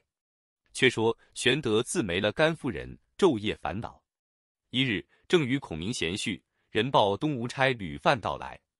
孔明笑曰：“此乃周瑜之计，必为荆州之故。”亮只在屏风后前听，但有事说话，主公都应承了。由来人在馆驿中歇，别做商议。玄德叫请吕范入，礼毕坐定，茶罢，玄德问曰：“子恒来，必有所欲。”范曰：“范进文皇书诗偶，有一门好亲，故不避嫌，特来作媒。未知尊意若何？”玄德曰：“中年丧妻，大不幸也。骨肉未寒。”安忍便一亲？范曰：“人若无妻，如屋无梁，岂可中道而废人伦？吴主吴侯有一妹，美而贤，堪奉箕帚。若两家共结秦晋之好，则曹贼不敢正视东南也。此事家国两便，请皇叔勿疑。但我国太吴夫人甚爱幼女，不肯远嫁，必求皇叔到东吴就婚。”玄德曰：“此事吴侯知否？”范曰：“不先禀吴侯，如何敢造次来说？”玄德曰：“吾年已半百，鬓发斑白，吴侯之妹正当妙龄，恐非配偶。”范曰：“吴侯之妹身虽女子，智胜男儿。常言若非天下英雄，无不视之。今皇叔名闻四海，正所谓淑女配君子，岂以年齿上下相嫌乎？”玄德曰：“公且少留，来日回报。”是日设宴相待，留于馆舍。至晚，与孔明商议。孔明曰：“来意亮已知道了。世间补益，得宜大吉大利之兆。主公便可应允。先叫孙乾和吕范回见吴侯，面许已定，择日便去救亲。”玄德曰：“周瑜定计欲害刘备，岂可以身轻入危险之地？”孔明大笑曰：“周瑜虽能用计。”岂能出诸葛亮之料乎？略用小谋，使周瑜半筹不展。吴侯之妹又属主公，荆州万无一失。玄德怀疑未决，孔明竟叫孙乾往江南说和亲事。孙乾领了言语，与吕范同到江南来见孙权。权曰：“吾愿将小妹招赘玄德，并无异心。”孙乾拜谢，回荆州见玄德，言吴侯专候主公去结亲。玄德怀疑，不敢往。孔明曰：“吾已定下三条计策，非子龙不可行也。”遂唤赵云近前，附耳言曰：“如保主公入吴，当领此三个锦囊，囊中有三条妙计，依次而行。”即将三个锦囊与云贴肉收藏。孔明先使人往东吴纳了聘，一切完备。时建安十四年冬十月，玄德与赵常、孙乾取快船十只。随行五百余人，离了荆州，前往南徐进发。荆州之事，皆听孔明裁处。玄德心中样样不安。到南徐州，传以报案，云曰：“军师吩咐三条妙计，依次而行。今已到此，当先开第一个锦囊来看。”于是开囊看了计策，便唤五百随行军士，一一吩咐如此如此。众军领命而去。又叫玄德先往见乔国老，那乔国老乃二乔之父，居于南徐。玄德牵羊担酒，先往拜见，说吕范为媒，娶夫人之事。随行五百军士，居披红挂彩，入南徐买办物件。传说玄德入赘东吴，城中人尽知其事。孙权知玄德已到，叫吕范相待，且就馆舍安歇。却说乔国老既见玄德，便入见吴国太贺喜。国太曰：“有何喜事？”乔国老曰：“令爱以许留玄德为夫人，今玄德已到，何故相瞒？”国太惊曰：“老身不知此事。”便使人请吴侯问虚实，一面先使人于城中探听，人皆回报国有此事。女婿已在馆驿安歇，五百随行军士都在城中买猪羊果品。准备成亲，做媒的女家是吕范，男家是孙乾，聚在馆驿中相待。国泰吃了一惊，少请孙权入后堂见母亲。国泰捶胸大哭。权曰：“母亲何故烦恼？”国泰曰：“你直如此，将我看成的如无物。我姐姐临危之时，吩咐你什么话来？”孙权失惊曰：“母亲有话明说，何苦如此？”国泰曰：“男大须婚，女大须嫁，古今常理。我为你母亲，是当禀命于我。你招刘玄德为婿，如何瞒我？女儿须是我的。”全吃了一惊，问曰：“那里得这话来？”国泰曰：“若要不知，除非莫为。满城百姓，那一个不知？你倒瞒我。”乔国老曰：“老夫已知多日了，今特来贺喜。”权曰：“非也。”此事周瑜之计，因要取荆州，故将此为名，传刘备来居求在此，要他把荆州来换。若其不从，先斩刘备。此事计策，非实意也。国太大怒，骂周瑜曰：“汝作六郡八十一州大都督，直嫩无条计策去取荆州，却将我女儿为名，使美人计，杀了刘备，我女便是望门寡，明日再怎地说亲？虚误了我女儿一事。”你们好做作。乔国老曰：“若用此计，便得荆州，也被天下人耻笑。此事如何行的？”说的孙权默然无语。国泰不住口的骂周瑜。乔国老劝曰：“事已如此，刘皇叔乃汉室宗亲，不如真个招他为婿，免得出丑。”权曰：“年纪恐不相当。”国老曰：“刘皇叔乃当世豪杰，若招得这个女婿。”也不辱了令妹。国泰曰：“我不曾认得刘皇叔，明日约在甘露寺相见。如不中我意，任从你们行事；若中我的意，我自把女儿嫁他。”孙权乃大孝之人，见母亲如此言语，随即应承，出外唤吕范，吩咐来日甘露寺方丈设宴。国泰要见刘备。吕范曰：“何不令贾华部领三百刀斧手，伏于两廊？”若国泰不喜时，一声号举，两边齐出，将他拿下。权遂唤贾华，吩咐预先准备，只看国泰举动。却说乔国老辞吴国泰归，使人去报玄德，言来日吴侯国泰亲自要见，好生在意。玄德与孙乾、赵云商议，云曰：“来日此会多凶少吉，云自引五百军保护。次日，吴国泰。乔国老先在甘露寺方丈里坐定。孙权引一班谋士随后都到，却叫吕范来管驿中请玄德。玄德内披细铠，外穿棉袍，从人备剑紧随，上马头甘露寺来。赵云全装冠带，引五百军随行，来到寺前下马，先见孙权。权观玄德仪表非凡，心中有畏惧之意。二人叙礼毕，遂入方丈见国泰。国泰见了玄德，大喜，谓乔国老曰：“真无序也。”国老曰：“玄德有龙凤之姿，天日之表。”更兼仁德不于天下，国泰得此佳婿，真可庆也。玄德拜谢，共宴于方丈之中。少客，子龙带剑而入，立于玄德之侧。国泰问曰：“此是何人？”玄德答曰：“常山赵子龙也。”国泰曰：“莫非当阳长坂抱阿斗者乎？”玄德曰：“然。”国泰曰：“真将军也。”遂赐以酒。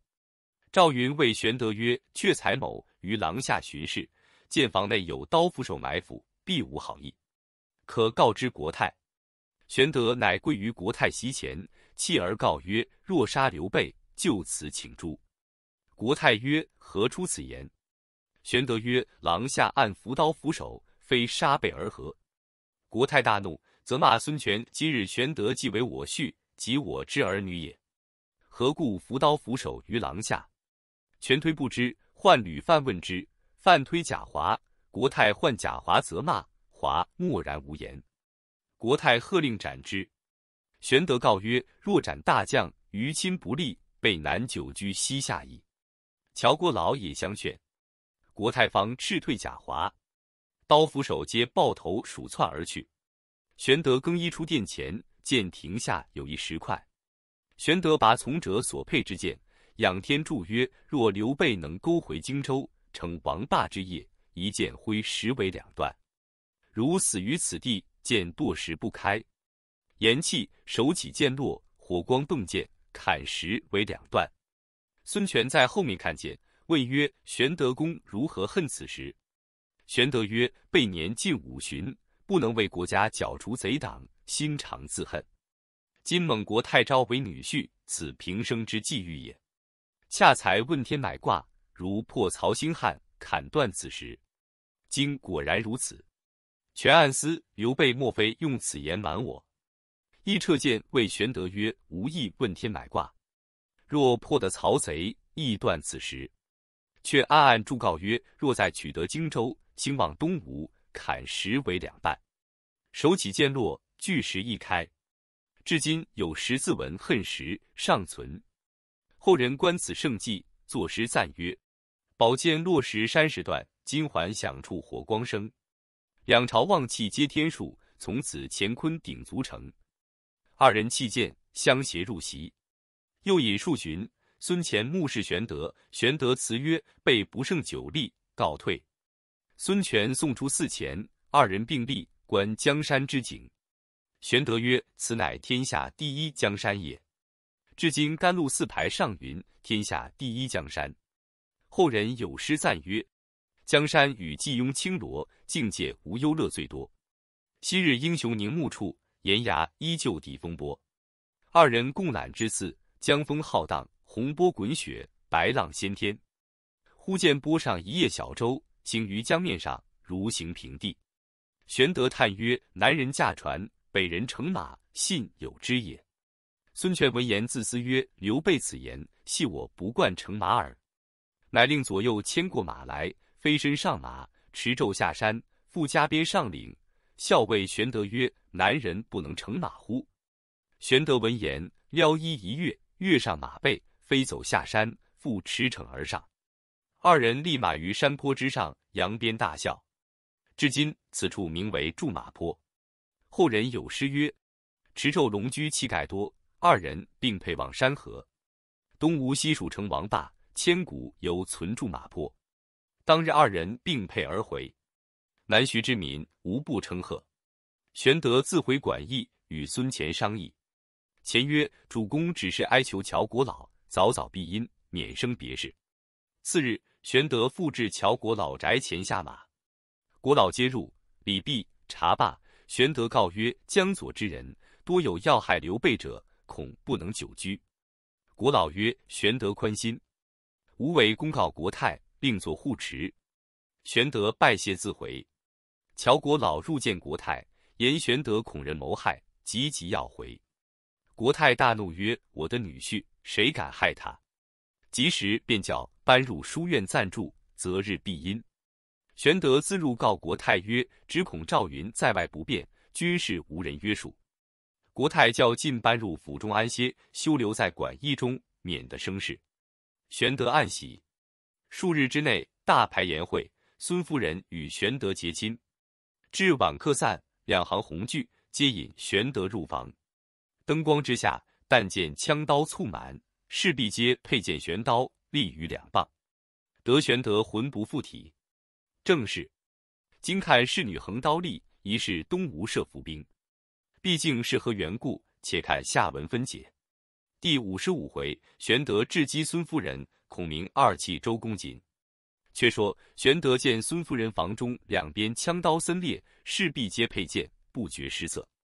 管家婆进曰：“贵人修得京剧，夫人自幼好观武士，居常令侍婢击剑为乐，故而如此。”玄德曰：“非夫人所观之事，无甚心寒，可命暂去。”管家婆禀复孙夫人曰：“房中摆列兵器，交客不安，今且去之。”孙夫人笑曰：“厮杀半生，尚惧兵器乎？”命尽撤去，令侍婢解剑服侍。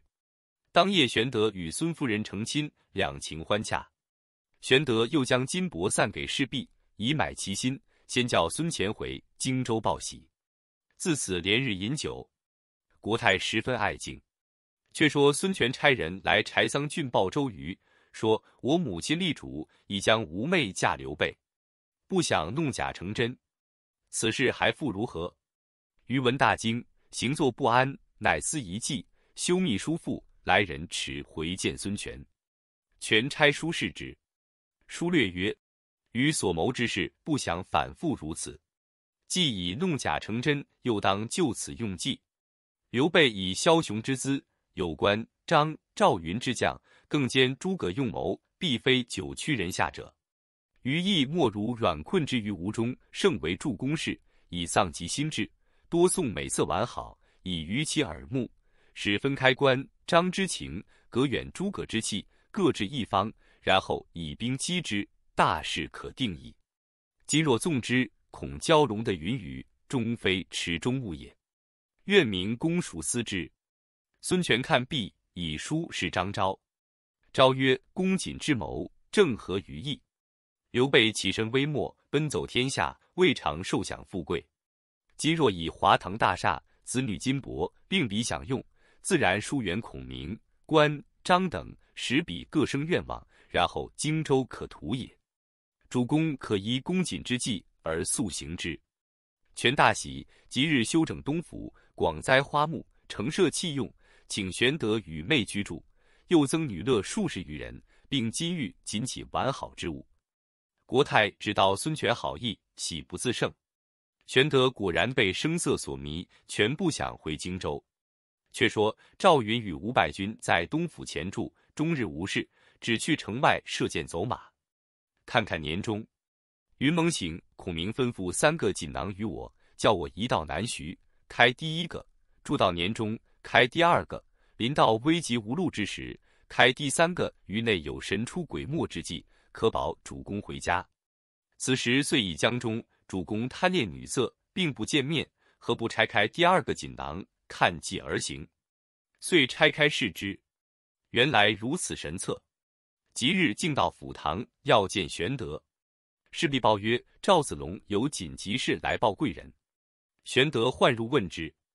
云阳作《诗经》之状曰：“主公身居画堂，不想荆州也。”玄德曰：“有甚事如此惊怪？”云曰：“今早孔明使人来报，说曹操要报赤壁鏖兵之恨，起精兵五十万，杀奔荆州，甚是危急，请主公便回。”玄德曰：“必须与夫人商议。”云曰：“若和夫人商议？”必不肯叫主公回，不如休说，今晚便好启程。迟则误事。玄德曰：“你且暂退，我自有道理。”云故意催逼数番而出。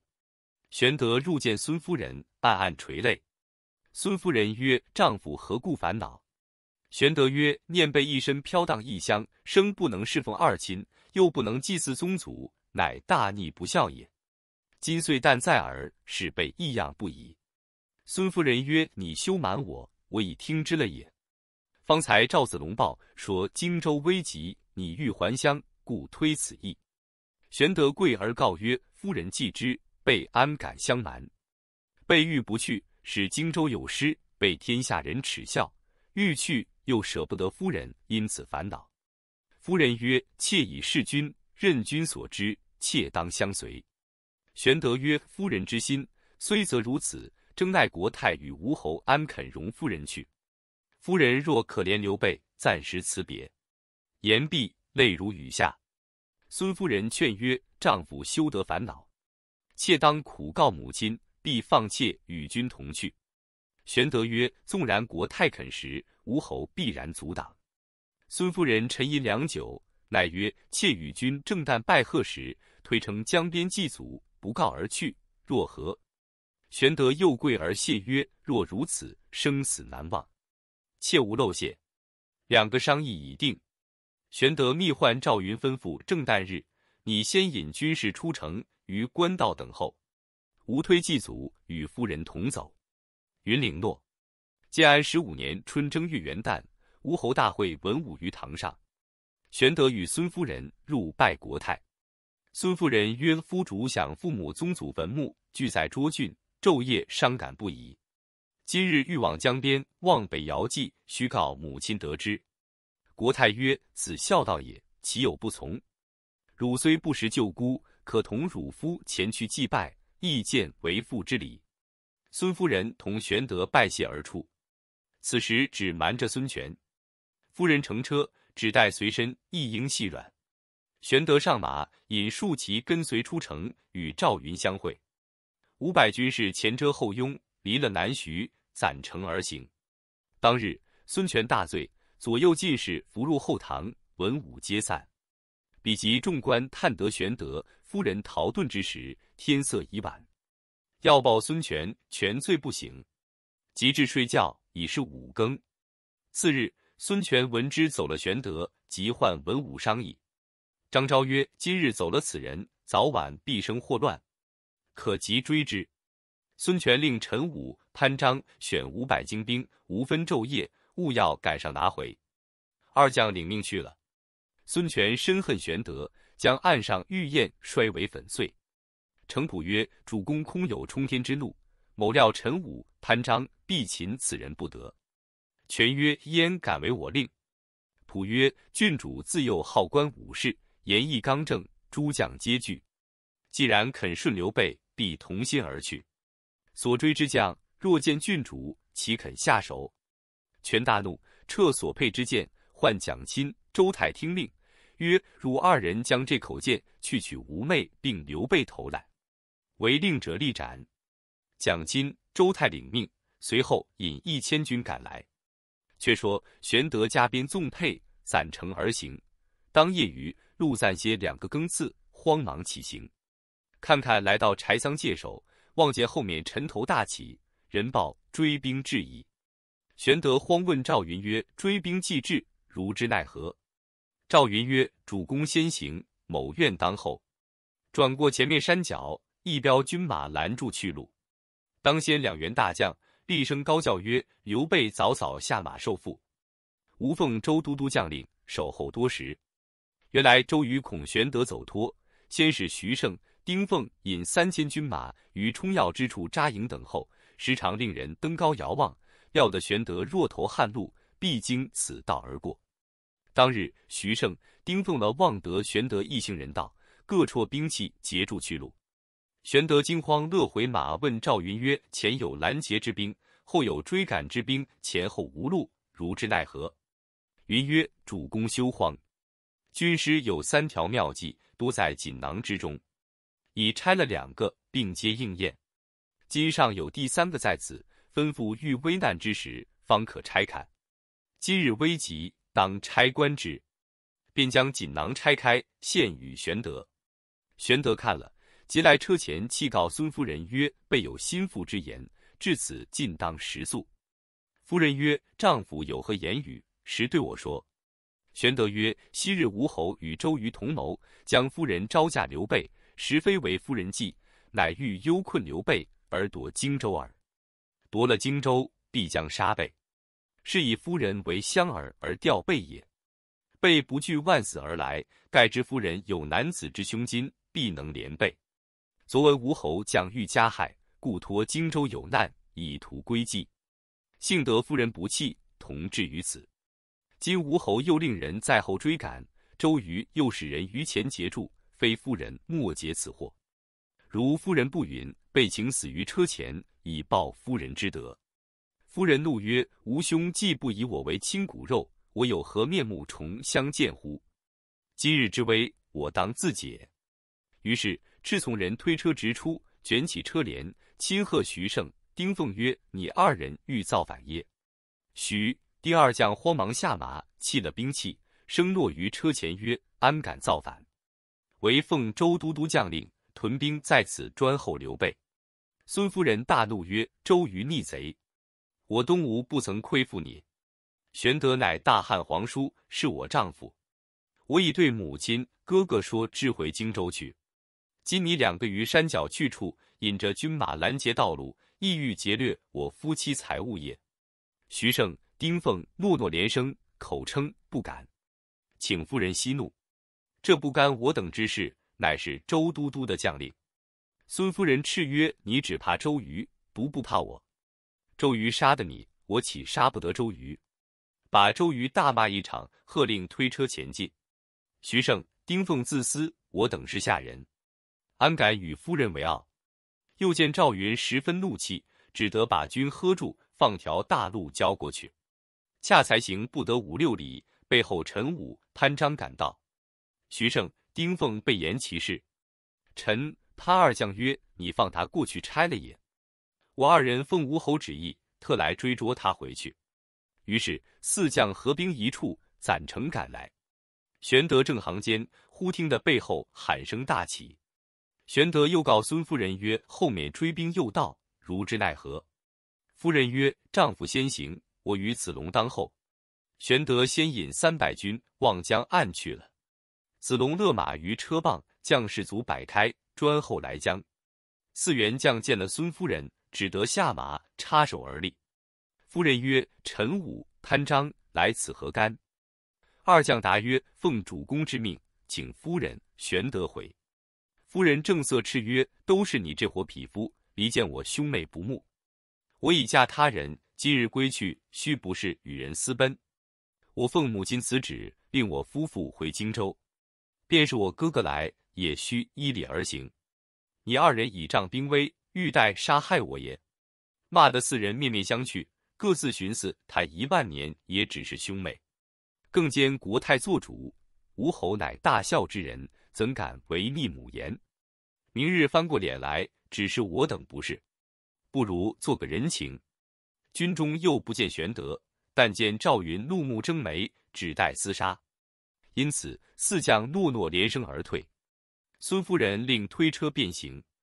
徐盛曰：“我四人同去见周都督，告禀此事。”四人犹豫未定，忽见义军如旋风而来，视之，乃蒋钦、周泰。二将问曰：“你等曾见刘备否？”四人曰：“早晨过去，已半日矣。”蒋钦曰：“何不拿下？”四人各言孙夫人发话之事。蒋钦曰：“便是吴侯踏到如此，封一口剑在此，叫先杀他妹。”后斩刘备，违者立斩。四将曰：“去之已远，怎生奈何？”蒋钦曰：“他中是些步军，急行不上。”徐第二将军可飞报都督，叫水陆赵快船追赶。我四人在岸上追赶，无问水旱之路，赶上杀了，休听他言语。于是徐盛、丁奉飞报周瑜，蒋钦、周泰、陈武、潘璋四个领兵沿江赶来。却说玄德一行人马离柴桑较远，来到刘郎浦，心才稍宽。沿着江岸寻渡，一望江水弥漫，并无船只。玄德俯首沉吟。赵云曰：“主公在虎口中逃出，今已进本界，无料军师必有调度，何用犹疑？”玄德听罢，蓦然想起在吴繁华之事，不觉凄然泪下。后人有诗叹曰：“吴蜀成婚此水寻，明珠不丈乌黄金。谁知一女倾天下，欲意刘郎顶至心。”玄德令赵云望前哨探船只，忽报后面尘土冲天而起。玄德登高望之，但见军马盖地而来，叹曰：“连日奔走，人困马乏，追兵又到。”死无地矣！看看喊声渐近，正慌急间，忽见江岸边一字儿抛着拖篷船二十余只。赵云曰：“天幸有船在此，何不速下赵国对岸，再作驱处？”玄德与孙夫人便奔上船。子龙引五百军亦都上船。只见船舱中一人观金道服，大笑而出，曰：“主公且喜。”诸葛亮在此等候多时，船中扮作客人的皆是荆州水军。玄德大喜，不一时，四将赶到。孔明笑指岸上人言曰：“吾已算定多时矣。汝等回去传示周郎，叫休再使美人举手段。岸上乱箭射来，船已开得远了。”蒋钦等四将只好呆看。玄德与孔明正行间，忽然江声大震。回头视之，只见战船无数，率自旗下，周瑜自领惯战水军，左有黄盖，右有韩当，势如飞马，急似流星。看看赶上，孔明叫赵船投北岸，弃了船，尽皆上岸而走，车马登城。周瑜赶到江边，一皆上岸追袭。大小水军尽是步行，只有为首官军骑马。周瑜当先，黄盖、韩当。徐盛、丁奉紧随。周瑜曰：“此处是那里？”军士答曰：“前面是黄州界首。”望见玄德车马不远，于令并力追袭。正赶之间，一声鼓响，山烟内一雕刀手拥出，为首一员大将，乃关云长也。周瑜举止失措，即拨马便走。云长赶来，周瑜纵马逃命。正奔走间，左边黄忠，右边魏延，两军杀出。吴兵大败，周瑜急急下的船时，岸上军士齐声大叫曰：“周郎妙计安天下，赔了夫人又折兵。”瑜怒曰：“可再登岸决一死战。”黄盖、韩当立阻。瑜自思曰：“无计不成，有何面目去见吴侯？”大叫一声，金疮迸裂，倒于船上。众将急救，却早不省人事。正是两番弄巧翻成拙。此日寒琛却待休，未知周郎性命如何？且看下文分解。第五十六回，曹操大宴铜雀台，孔明三气周公瑾。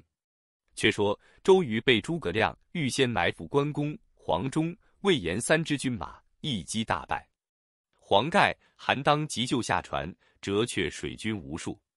遥观玄德、孙夫人车马仆从，都停驻于山顶之上，于如何不弃？箭疮未愈，因怒气冲击，窗口迸裂，昏厥于地。众将救醒，开船逃去。孔明叫休追赶，自和玄德归荆州庆喜，赏赐众将。周瑜自回柴桑。蒋钦等一行人马自归南，徐报孙权。权不胜愤怒，欲拜程普为都督，起兵取荆州。周瑜又上书，请兴兵雪恨。张昭谏曰：“不可。”曹操日夜思报赤壁之恨，因孔孙刘同心，故未敢兴兵。今主公若以一时之愤自相吞并，操必乘虚来攻，国势危矣。故庸曰：许都岂无细作在此？若知孙刘不睦，操必使人勾结刘备，备据东吴，必投曹操。若是，则江南何日得安？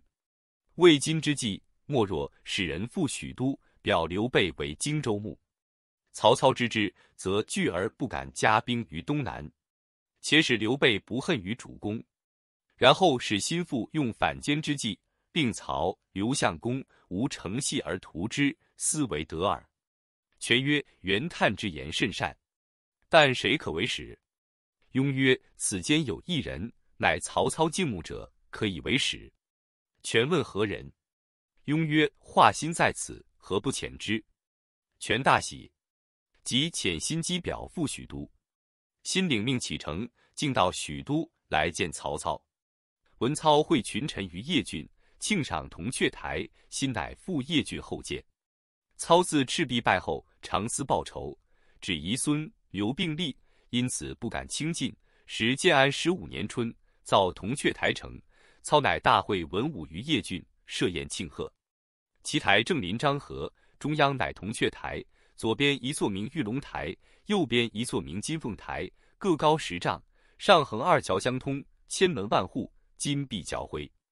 是日，曹操头戴嵌宝金冠，身穿绿锦罗袍，玉带珠履，凭高而坐。文武侍立台下。操御官武官比试弓箭，乃使进士将西川红锦战袍一领挂于垂杨之上，下设一箭垛，以百步为界。分五官为两队，曹氏宗族俱穿红，其余将士俱穿绿，各带雕弓长箭，跨鞍勒马，听候指挥。操传令曰：“有能射中箭朵红心者，即以锦袍赐之；如射不中，罚水一杯。”号令方下，红袍队中一个少年将军骤马而出，众视之，乃曹休也。休飞马往来，奔驰三次，扣上箭，拽满弓，一箭射去，正中红心。金鼓齐鸣，众皆喝彩。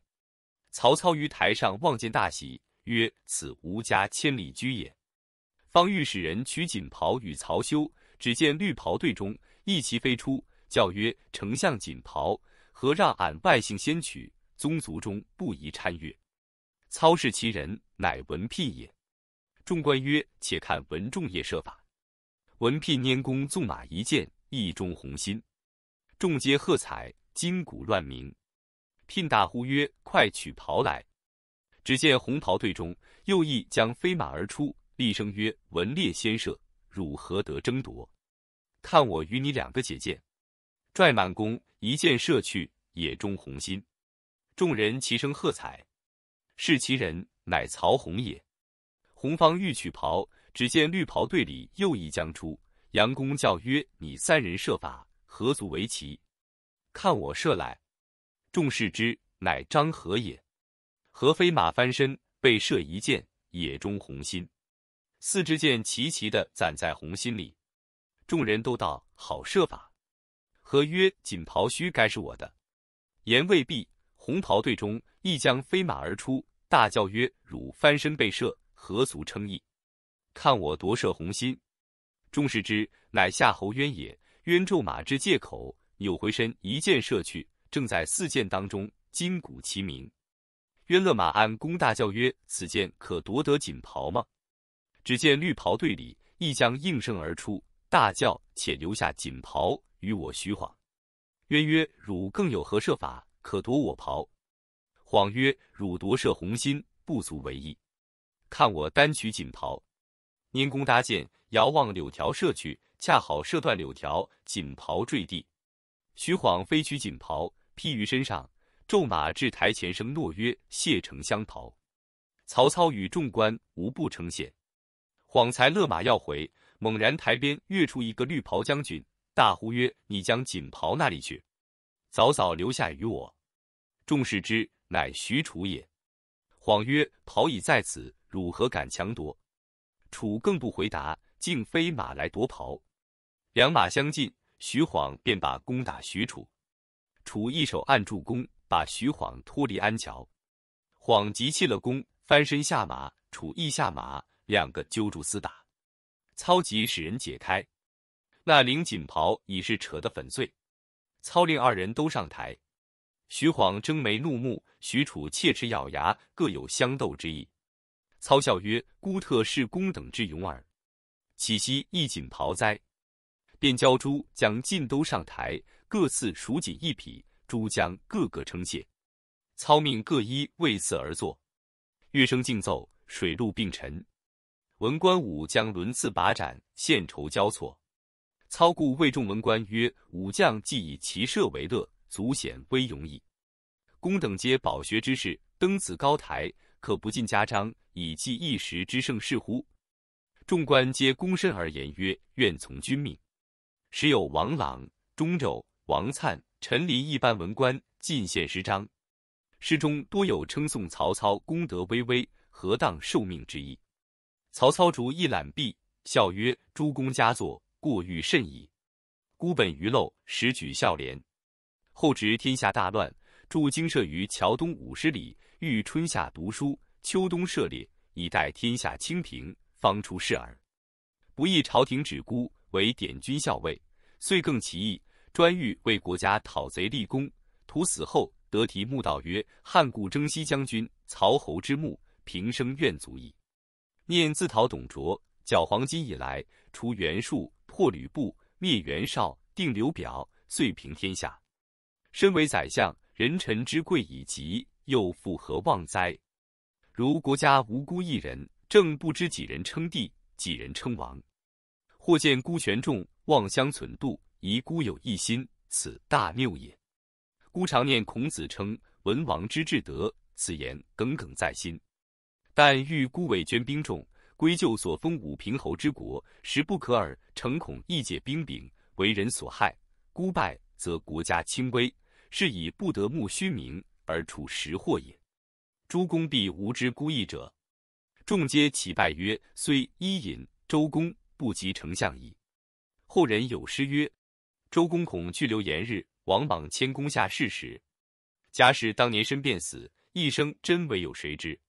曹操连饮数杯，不觉沉醉，唤左右捧过笔砚，意欲作铜雀台诗。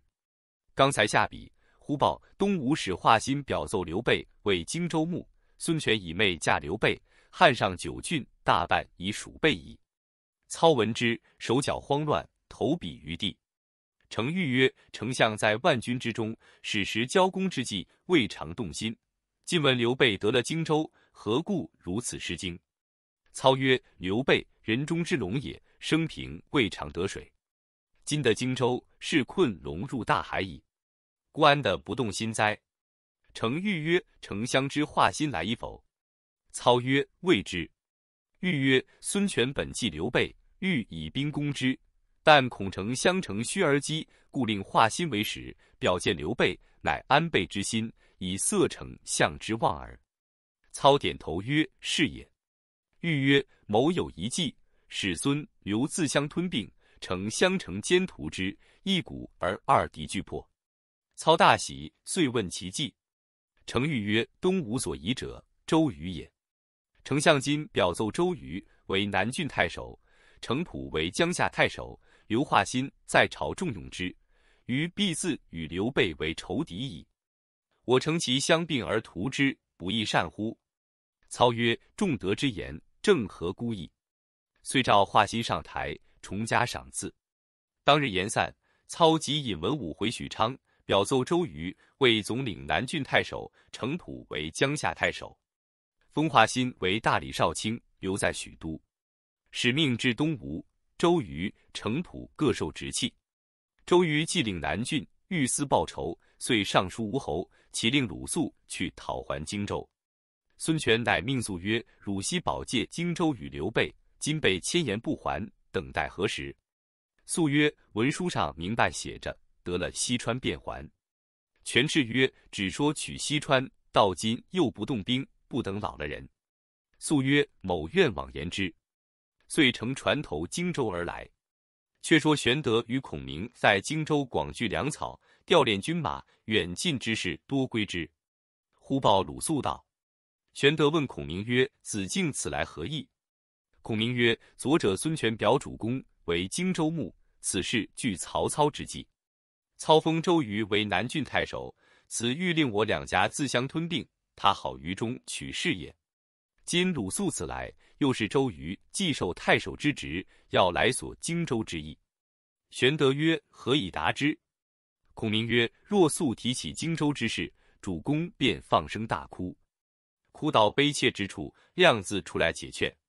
机会已定，接鲁肃入府，礼毕，续坐。肃曰：“今日皇叔做了东吴女婿，便是鲁肃主人，如何敢做？”玄德笑曰：“子敬与我旧交，何必太谦？”肃乃就坐，茶罢，肃曰：“今奉吴侯君命，专为荆州一事而来。”皇叔已借住多时，未蒙见还。今既两家结亲，当看亲情面上，早早交付。”玄德闻言，掩面大哭。肃惊曰：“皇叔何故如此？”玄德哭声不绝。孔明从屏后出曰：“亮听之久矣。子敬知吴主人哭的缘故吗？”素曰：“某时不知。”孔明曰：“有何难见？当初我主人借荆州时，许下取得西川便还。仔细想来，益州刘璋是我主人之地，一般都是汉朝骨肉。”若要兴兵去取他城池时，恐被外人唾骂；若要不取，还了荆州，何处安身？若不还时，于尊旧面上又不好看，事实两难，因此泪出痛肠。孔明说罢，触动玄德衷肠，真个捶胸顿足，放声大哭。鲁肃劝曰：“皇叔且休烦恼，与孔明从长计议。”孔明曰：“有烦子敬，回见吴侯。”勿惜一言之劳，将此烦恼情节肯告吴侯，再容几时？肃曰：“倘吴后不从，如之奈何？”孔明曰：“吴侯既以亲妹聘嫁皇叔，安得不从乎？”望子敬善言回复。鲁肃是个宽仁长者，见玄德如此哀痛，只得应允。玄德、孔明拜谢，宴毕，送鲁肃下船，竟到柴桑，见了周瑜。具言其事，周瑜顿足曰：“子敬幼中诸葛亮之计也。当初刘备依刘表时，常有吞并之意，何况西川刘璋乎？四次推掉，未免累及老兄矣。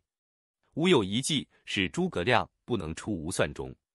子敬便当一行。”肃曰：“愿闻妙策。”瑜曰：“子敬不必去见吴侯，再去荆州，对刘备说：‘孙刘两家既结为亲。’”便是一家。若刘氏不忍去取西川，我东吴起兵去赶，取得西川时，以作价资，却把荆州交还东吴。肃曰：“西川条地，取之非易。都督此计，莫非不可？”余笑曰：“子敬真长者也。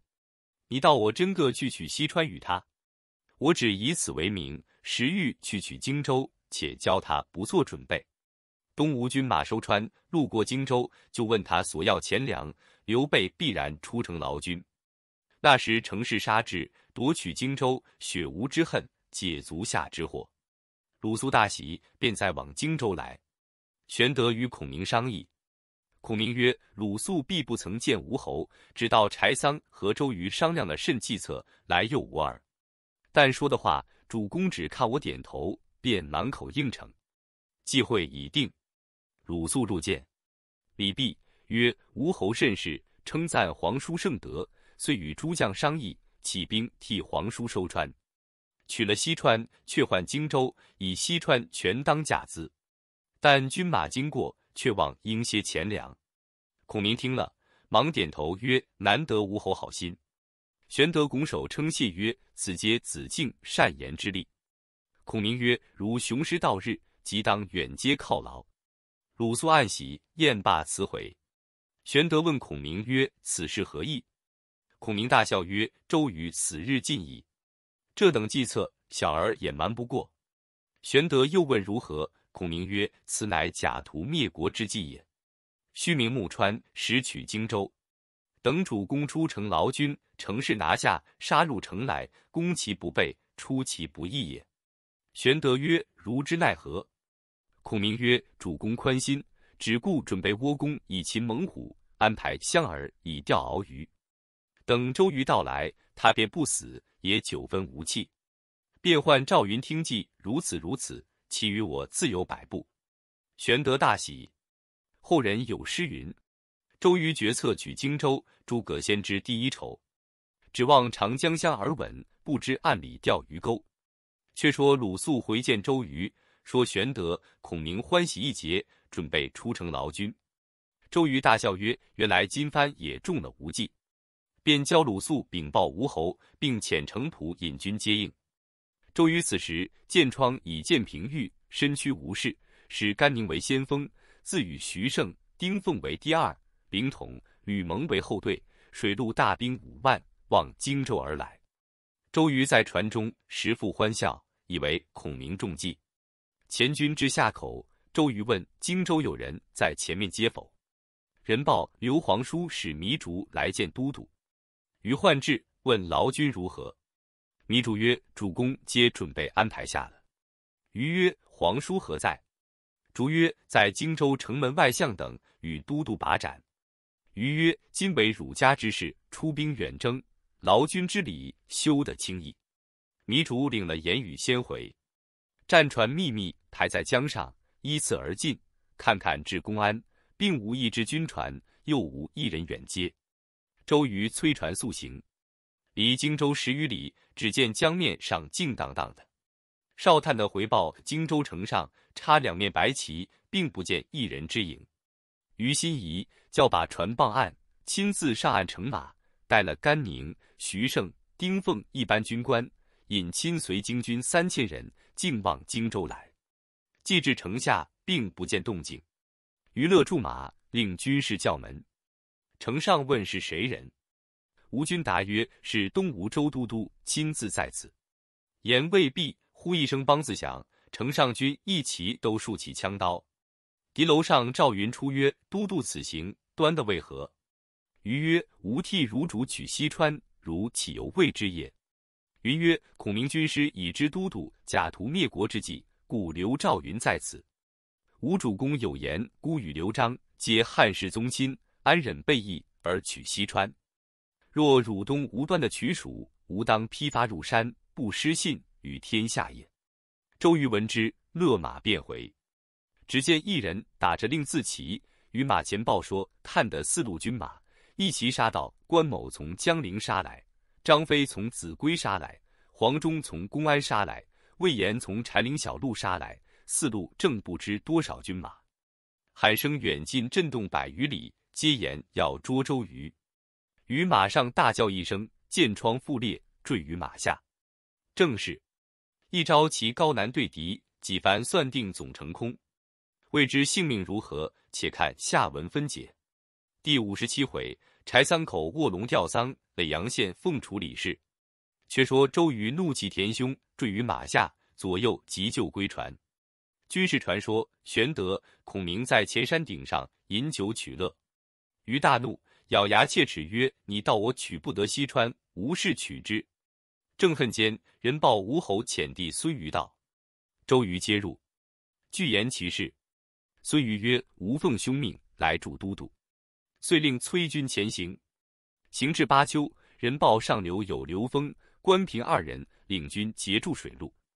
周瑜愈怒，忽又报孔明遣人送书至，周瑜拆封视之，书曰：“汉军师中郎将诸葛亮致书于东吴大都督公瑾先生麾下，亮自柴桑一别，至今恋恋不忘。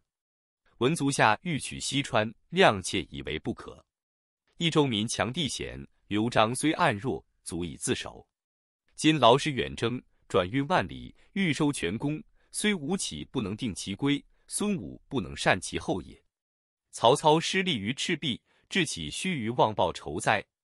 今足下兴兵远征，倘操乘虚而至，江南积焚矣。亮不忍作事，特此告之。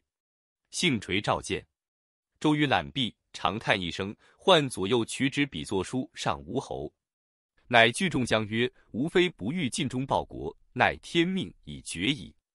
汝等善事吴侯，共成大业。”言讫，昏厥。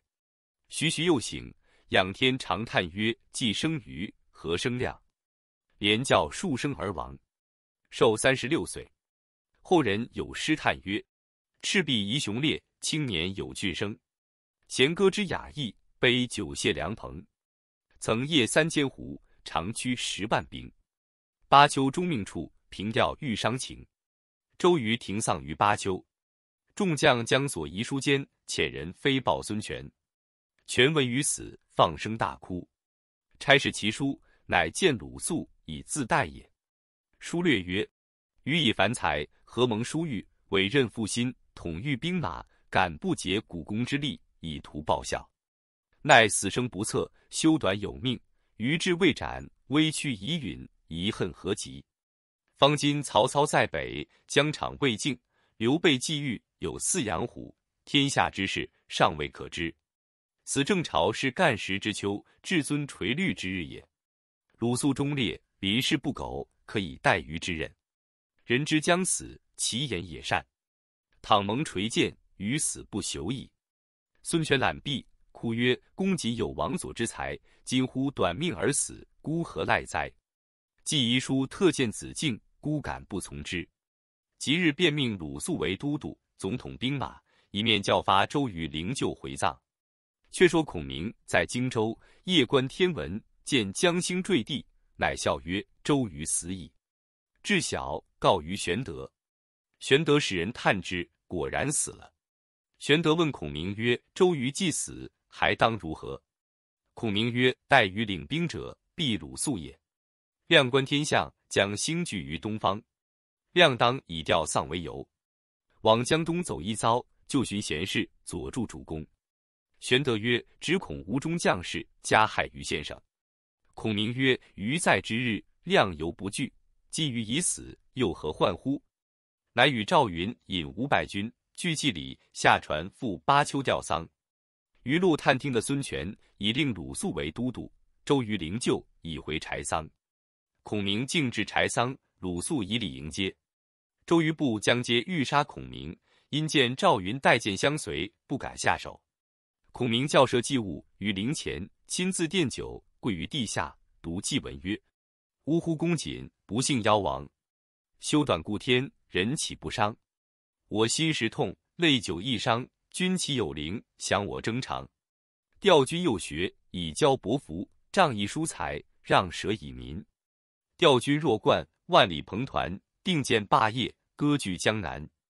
调军壮丽，远镇巴丘，景生怀虑。”讨逆无忧，调军风度，加配小乔，汉臣之序，不愧当朝。调军气概，建祖纳志，使不垂翅，终能奋意。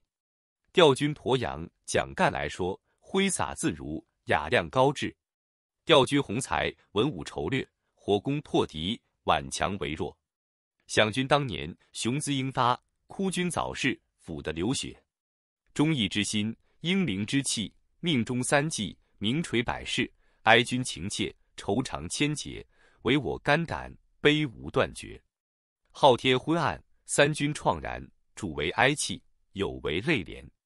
亮也不才，盖计求谋，助吴拒曹，抚汉安流，犄角之源，首尾相酬。若存若亡，何虑何忧？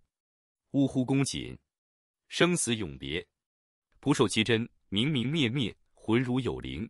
以见我心，从此天下更无知音。呜呼痛哉！夫为上想。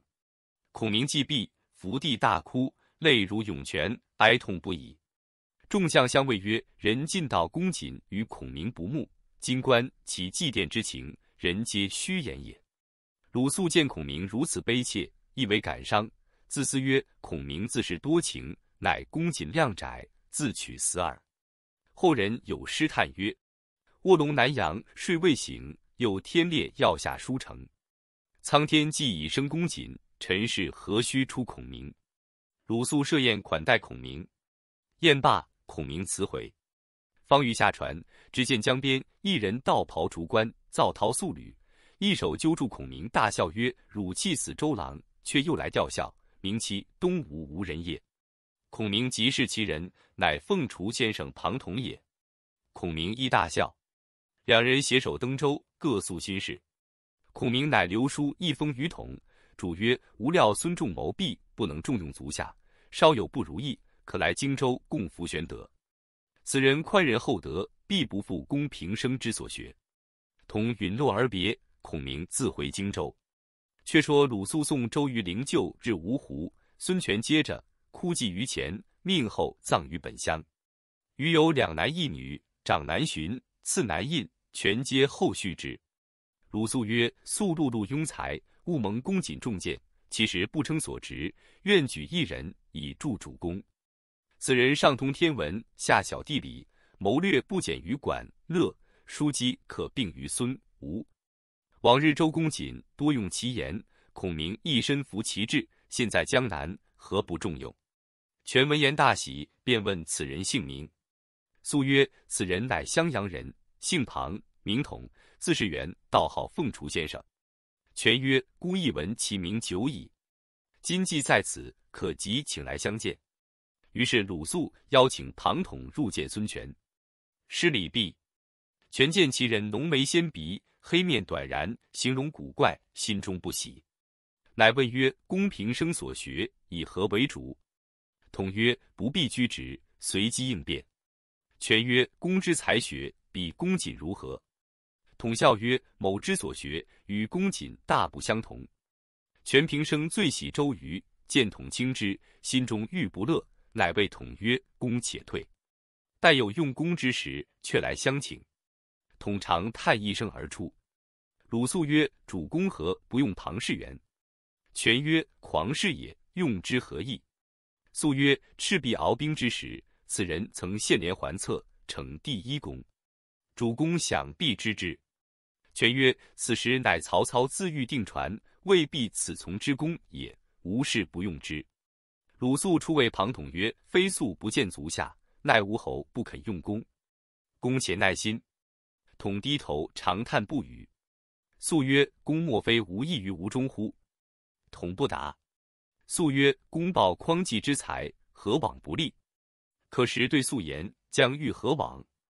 统曰：“吾欲投曹操去也。”素曰：“此明珠暗投矣，可往荆州投刘皇叔，必然重用。”统曰：“统亦时欲如此，前言戏耳。”素曰：“某当作书奉谏，公辅玄德，必令孙刘两家无相攻击，同力破曹。”统曰：“此某平生之素之也。”乃求素书，竟往荆州来见玄德。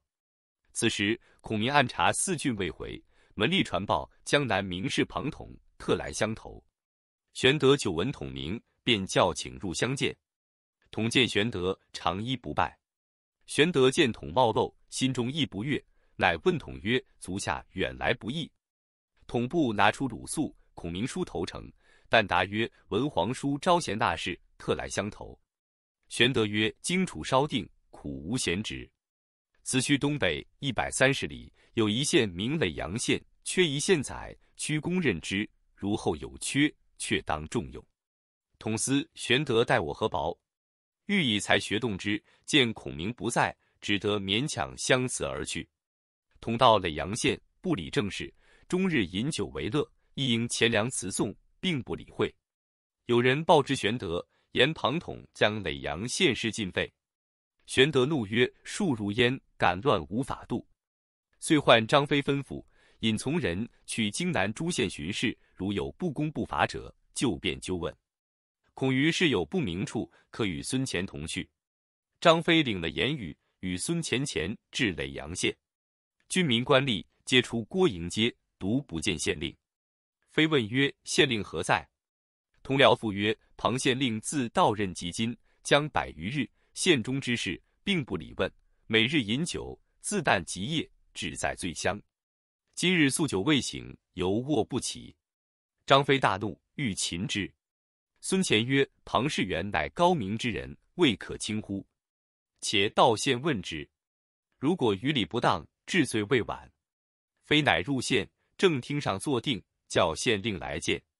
统衣冠不整，伏罪而出。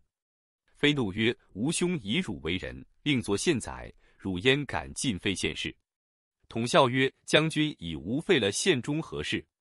非曰：“汝到任百余日，终日在醉乡，安得不废政事？”统曰：“量百里小县，些小公事。”何难决断？将军少坐，待我发落。随即唤公吏，将百余日所积公务都取来剖断。吏皆纷然击报案卷上听，诉辞被告人等还跪阶下。同手中批判，口中发落，耳内听词，曲直分明，并无分毫差错。民皆叩首拜服。不到半日，将百余日之事尽断毕了，投笔于地。而对张飞曰：“所废之事何在？”曹操、孙权、吴世之若掌上官文，量此小县，何足介意？飞大惊，下席谢曰：“先生大才，小子失敬。吾当于兄长处，极力举荐。”同乃将出鲁肃荐书。非曰：“先生初见吾兄，何不将出？”统曰：“若便将出，似乎专借剑书来干业矣。非故魏孙乾曰：“非公，则是一大贤也。”遂辞统回荆州见玄德，据说庞统之才。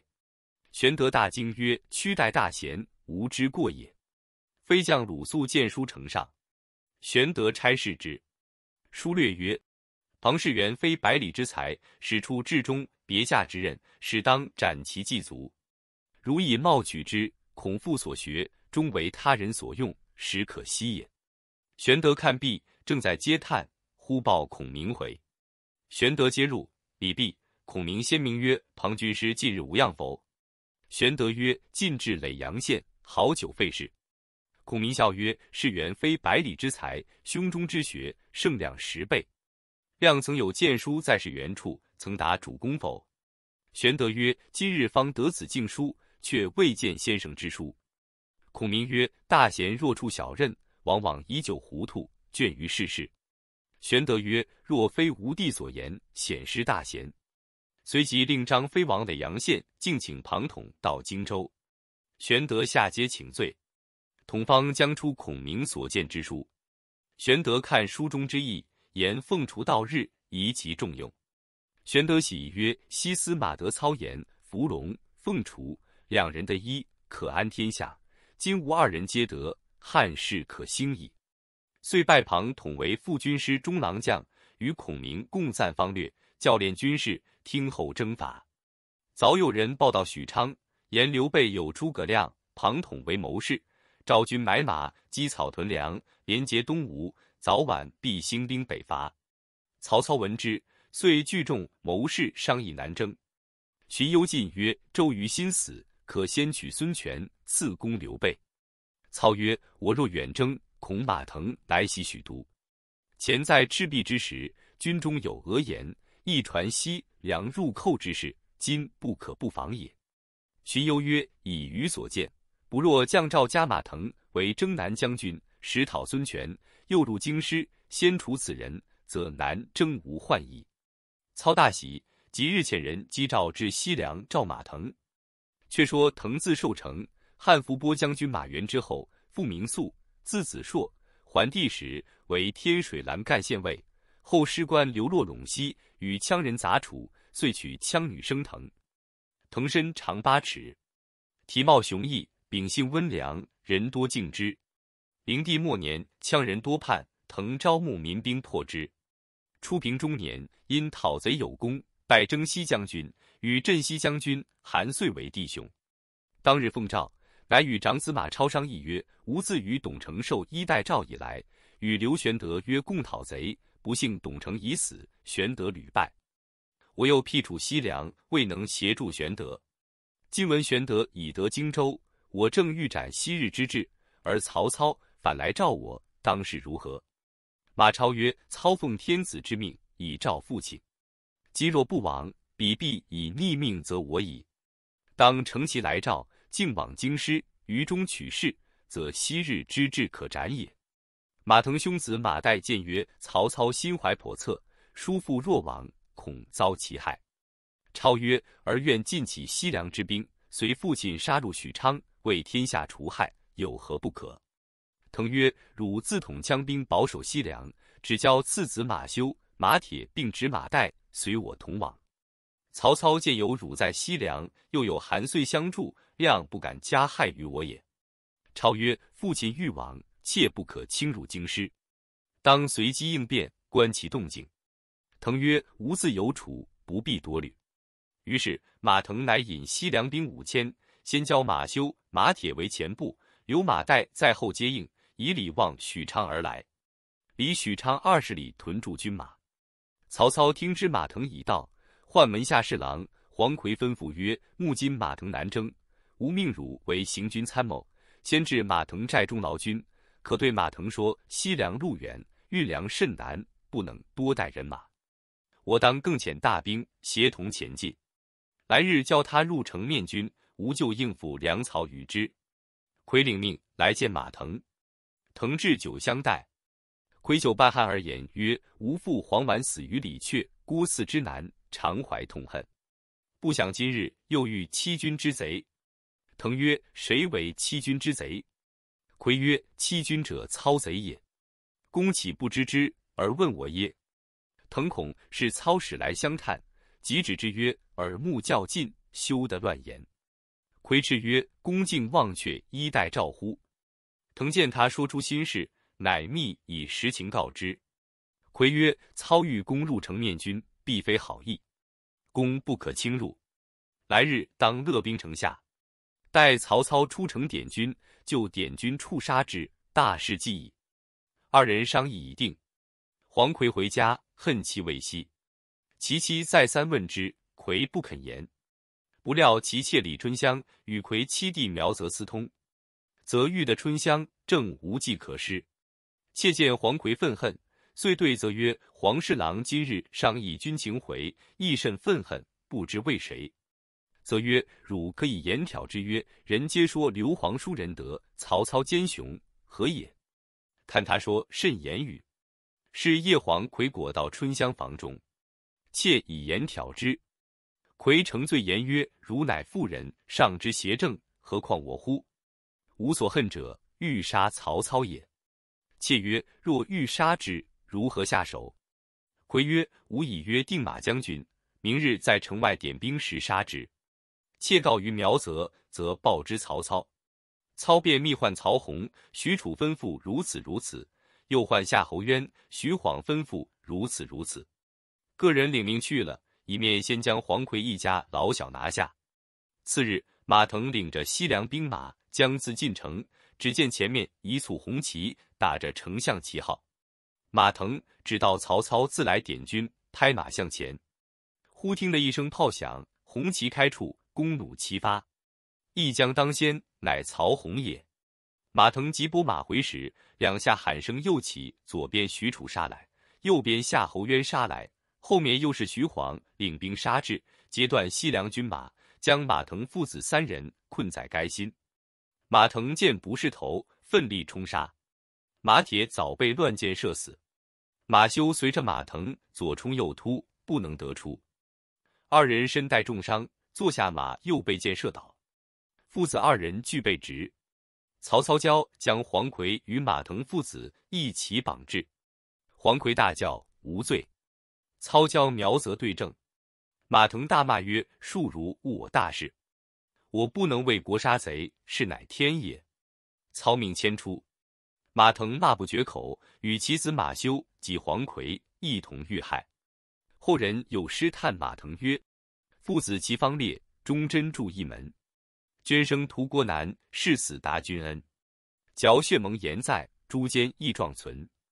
西凉推事纣，不愧伏波孙。”苗泽告操曰：“不愿加赏，只求李春香为妻。”操笑曰：“你为了一妇人，害了你姐夫一家，留此不义之人何用？”便交将苗泽、李春香与黄奎一家老小并斩于市，观者无不叹息。后人有诗叹曰：“苗泽因私害近臣，春香未得反伤身。奸雄亦不相容恕，枉自图谋做小人。”曹操教招安西凉兵马，谕之曰：“马腾父子谋反，不干众人之事。”一面使人吩咐把住关隘，休教走了马岱。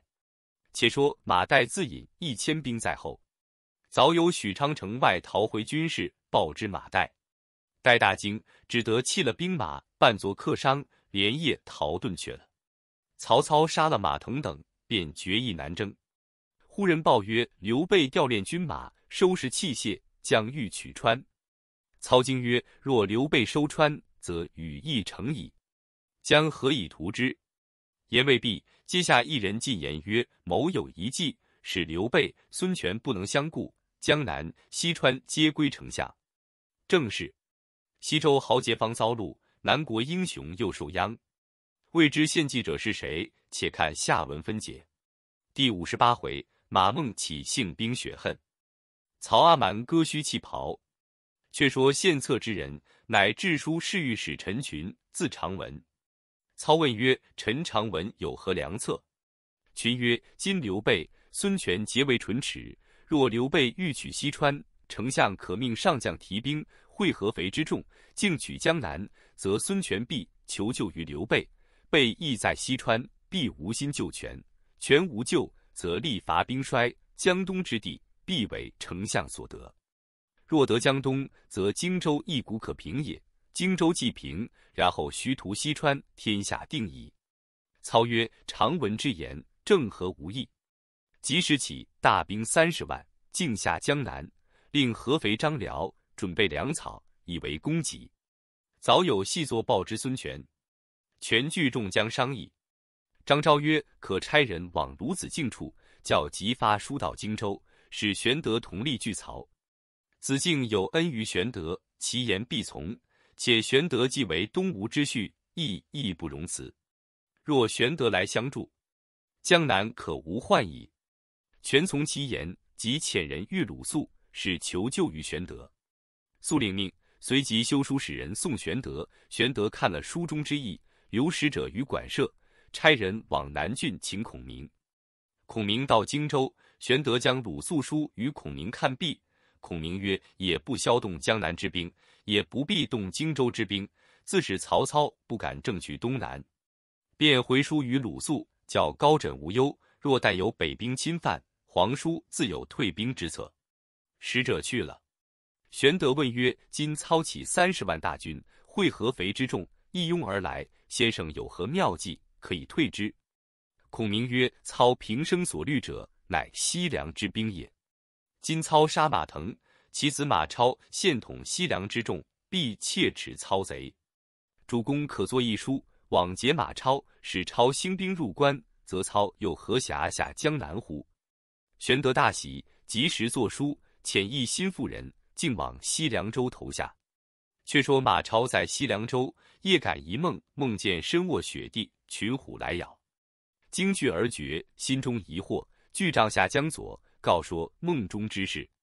帐下一人应声曰：“此梦乃不祥之兆也。”众视其人，乃帐前心腹校尉，姓庞，名德，字令明。超问令明所见若何？德曰：“雪地遇虎，梦兆殊恶。莫非老将军在许昌有事否？”言未必。一人踉跄而入，哭拜于地曰：“叔父与弟皆死矣。”超视之，乃马岱也。超惊问何为？岱曰：“叔父与侍郎黄奎同谋杀操，不幸事泄，皆被斩于市。二弟亦遇害，唯岱扮作客商，星夜走脱。”超闻言。哭倒于地，众将救起。超咬牙切齿，痛恨操贼。忽报荆州刘皇叔遣人赍书至，超差视之。书略曰：“伏念汉室不幸，操贼专权，欺君罔上，黎民凋残。备悉与令先君同受密诏，是诛此贼。今令先君被操所害，此将军不共天地，不同日月之仇也。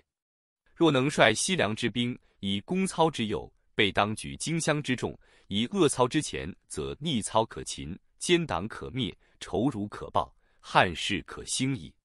书不尽言，历代回音。马超看毕，及时挥涕回书，发使者先回。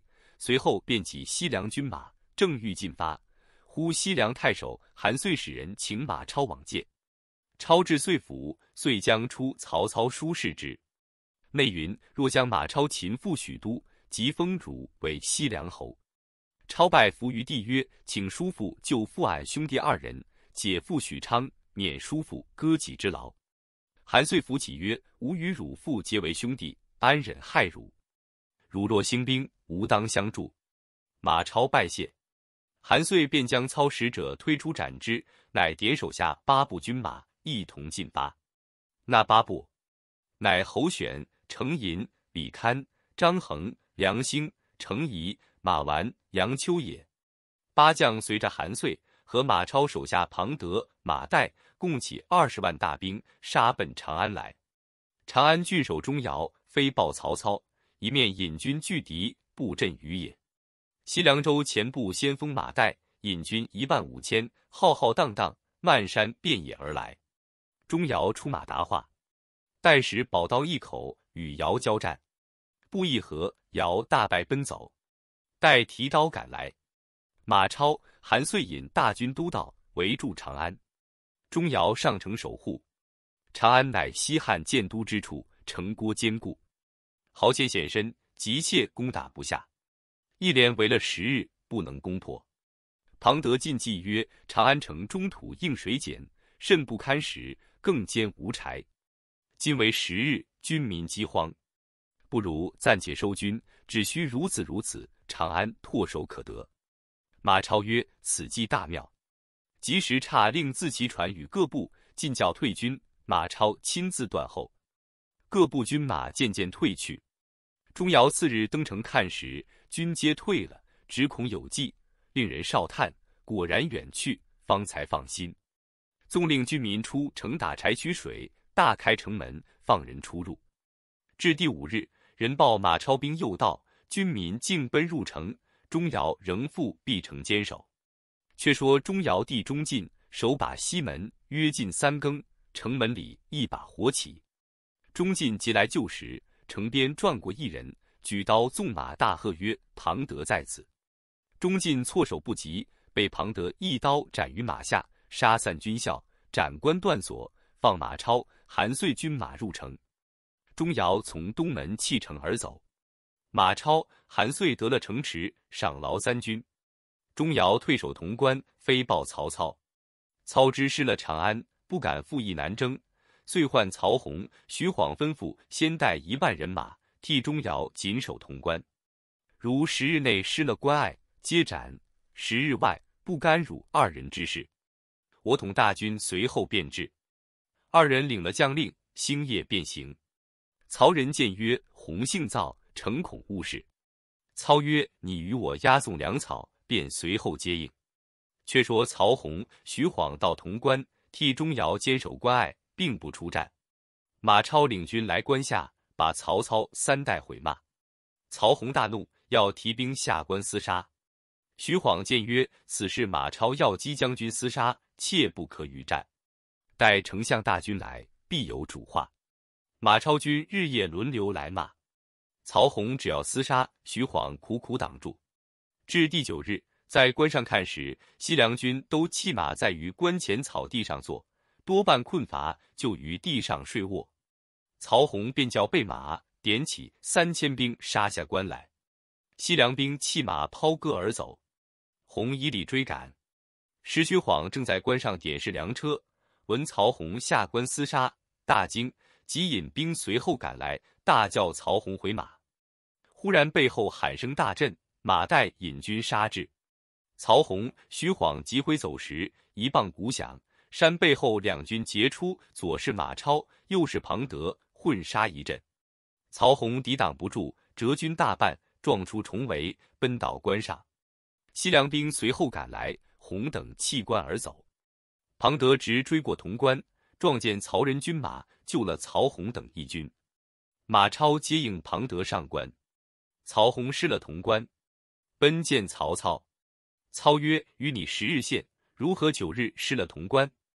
洪曰：“西凉军兵百般辱骂，因见彼军懈怠，乘势赶去，不想众贼奸计。”操曰：“洪年幼造暴，徐晃你须小事。”晃曰：“累见不从。”当日晃在关上点粮车，比及知道小将军已下关了，惶恐有失，连忙赶去，以众贼奸计矣。操大怒，喝斩曹洪。众官告免，曹洪伏罪而退。操进兵直寇潼关。曹仁曰：“可先下定寨栅，然后打关未迟。”操令砍伐树木，起立排栅，分作三寨：左寨曹仁，右寨夏侯渊，操自居中寨。次日，操引三寨大小将校杀奔关隘前去，正遇西凉军马，两边各不阵势。操出马于门旗下。看西凉之兵，人人勇健，个个英雄。又见马超生的面如覆粉，唇若抹珠，腰细膀宽，生雄力猛，白袍银铠，手执长枪，立马阵前，上手庞德，下手马岱。操暗暗称奇，自纵马谓超曰：“汝乃汉朝名将子孙，何故被反也？”超咬牙切齿，大骂操贼，欠君往上，罪不容诛。害我父弟，不共戴天之仇，吾当活捉生啖乳肉。说罢，挺枪直杀过来。曹操背后于禁出营，两马交战，斗得八九合，于禁败走。张合出营，战二十合，亦败走。李通出营，超奋威交战，数合之中，一枪刺李通于马下。超把枪往后一着，西凉兵一齐冲杀过来，曹兵大败。西凉兵来的是猛，左右将左皆抵挡不住。马超、庞德、马岱引百余骑直入中军来捉曹操。操在乱军中，只听得西凉军大叫：“穿红袍的是曹操！”操就马上即脱下红袍。又听得大叫：“长髯者是曹操！”操惊慌，撤所佩刀，断其髯。军中有人将曹操割髯之事告知马超。超遂令人叫拿短髯者是曹操，操闻之，即扯其脚包颈而逃。后人有诗曰：“潼关战败望风逃，孟德创皇脱锦袍。见歌自然应丧胆，马超升驾盖天高。”曹操正走之间，背后一骑赶来，回头视之，正是马超。操大惊，左右将校见超赶来，各自逃命，只撤下曹操。超厉声大叫曰：“曹操休走！”操惊得马鞭坠地，看看赶上，马超从后使枪搠来，操绕树而走，超一枪搠在树上，急拔下时，操已走远。超纵马赶来，山坡边转过一将，大叫：“误伤无主！”曹洪在此，抡刀纵马拦住马超，操的命走脱。洪与马超战到四五十合。渐渐刀法散乱，气力不佳。夏侯渊引数十骑随到，马超独自一人，恐被所算，乃拨马而回。夏侯渊也不来赶。曹操回寨，却得曹仁死惧，定了寨栅，因此不曾多折军马。操入帐叹曰：“吾若杀了曹洪，今日必死于马超之手也。”遂唤曹洪，重加赏赐，收拾败军，坚守寨栅。深沟高垒，不许出战。超每日引兵来寨前，辱骂诺战。操传令，教军士坚守，如乱动者斩。诸将曰：“西凉之兵尽使长枪，当选弓弩迎之。”操曰：“战与不战，皆在于我，非在贼也。贼虽有长枪，安能便刺？诸公但坚壁观之，贼自退矣。”诸将皆思相议曰：“丞相自来征战。”一身当先，今败于马超，何如此之弱也？过了几日，细作报来，马超又添二万生力兵来助战，乃是羌人部落。操闻之大喜。诸将曰：“马超添兵，丞相反喜，何也？”操曰：“待吾胜了，却对汝等说。”三日后，又报关上又添军马。操又大喜，就于帐中设宴作贺。诸将皆暗笑。操曰：“诸公笑我无破马超之谋，公等有何良策？”徐晃进曰：“今丞相胜兵在此，贼亦全部陷屯关上，此去河西必无准备。若得义军暗渡蒲坂津，先劫贼归路，丞相竟发河北击之，贼两不相应，势必危矣。”操曰：“公明之言，正合吾意。”便叫徐晃引精兵四千，和朱灵同去径袭河西。伏于山谷之中，待我渡河北，同时击之。徐晃、朱灵领命，先引四千军暗暗去了。操下令，先叫曹洪于蒲坂津安排船筏，留曹仁守寨。操自领兵渡渭河。早有细作报之马超，超曰：“今操不攻潼关，而使人准备船筏，欲渡河北，必将恶吴之后也。吾当引一军巡河，拒驻岸北。”操兵不得渡，不消二十日，河东粮尽，操兵必乱。却寻河南而击之，操可擒矣。韩遂曰：“不必如此。岂不闻兵法有云：兵半渡可击。待操兵渡至一半，汝却于南岸击之，操兵皆死于河内矣。”超曰：“叔父之言甚善。”即使人探听曹操几时渡河。却说曹操整兵已毕，分三庭军前渡渭河。比及人马到河口时，日光初起。操先发精兵渡过北岸，开创营寨。操自引亲随护卫军将百人，按箭坐于南岸，看军渡河。忽然人报后边白袍将军到了。众皆认的是马超，一拥下船。河边军争上船者，声喧不止。操犹坐而不动，按剑指曰：“休闹！”只听得人喊马嘶，蜂拥而来。船上亦将跃身上岸，呼曰：“贼至矣！请丞相下船。”操视之，乃许褚也。操口内犹言：“贼至何妨？”回头视之，马超已离不得百余步。许褚托操下船时，船已离岸一丈有余。楚父操一跃上船，随行将士尽皆下水，搬住船边，争欲上船逃命。船小将翻，楚撤刀乱砍，棒船手尽折，倒于水中。即将船望下水照去，许褚立于梢上，忙用木篙撑之。操伏在许褚脚边。马超赶到河岸，见船已留在半河，遂拈弓搭箭，喝令骁将绕河射之。势如雨急，楚恐伤曹操，以左手举马鞍遮之。马超箭不虚发，船上驾舟之人应弦落水，船中数十人皆被射倒。其船反撑不定，于急水中旋转。许褚独奋神威，将两腿夹舵摇撼，一手使篙撑船，一手举鞍遮护曹操。时有渭南县令丁斐在南山之上，见马超追操甚急。恐伤操命，遂将寨内牛之马匹尽驱于外，漫山遍野皆是牛马。西凉兵见之，都回身争取牛马，无心追赶。曹操因此得脱。方到北岸，便把船筏凿沉。诸将听得曹操在河中逃难，即来救时，操已登岸。许褚身被重铠，剑皆嵌在甲上。众将保操至野寨中。皆拜于地而问安。操大笑曰：“我今日既为小贼所困。”楚曰：“若非有人纵马放牛以诱贼，贼必努力渡河矣。”操问曰：“诱贼者谁也？”有知者答曰：“渭南县令丁斐也。”少顷，匪入见。操谢曰：“若非公之良谋，则无被贼所擒矣。”遂命为典军校尉。匪曰：“贼虽暂去，明日必复来。”须以良策拒之。操曰：“吾已准备了也。”遂唤诸将各分头巡河，筑起甬道，暂为寨脚。贼若来时，陈兵于甬道外，内虚立旌旗，以为疑兵。更沿河绝下壕堑，虚土棚盖。河内以兵诱之，贼皆来避陷，贼陷便可击矣。却说马超回见韩遂，说几乎捉住曹操。有一将奋勇赴操下船去了，不知何人。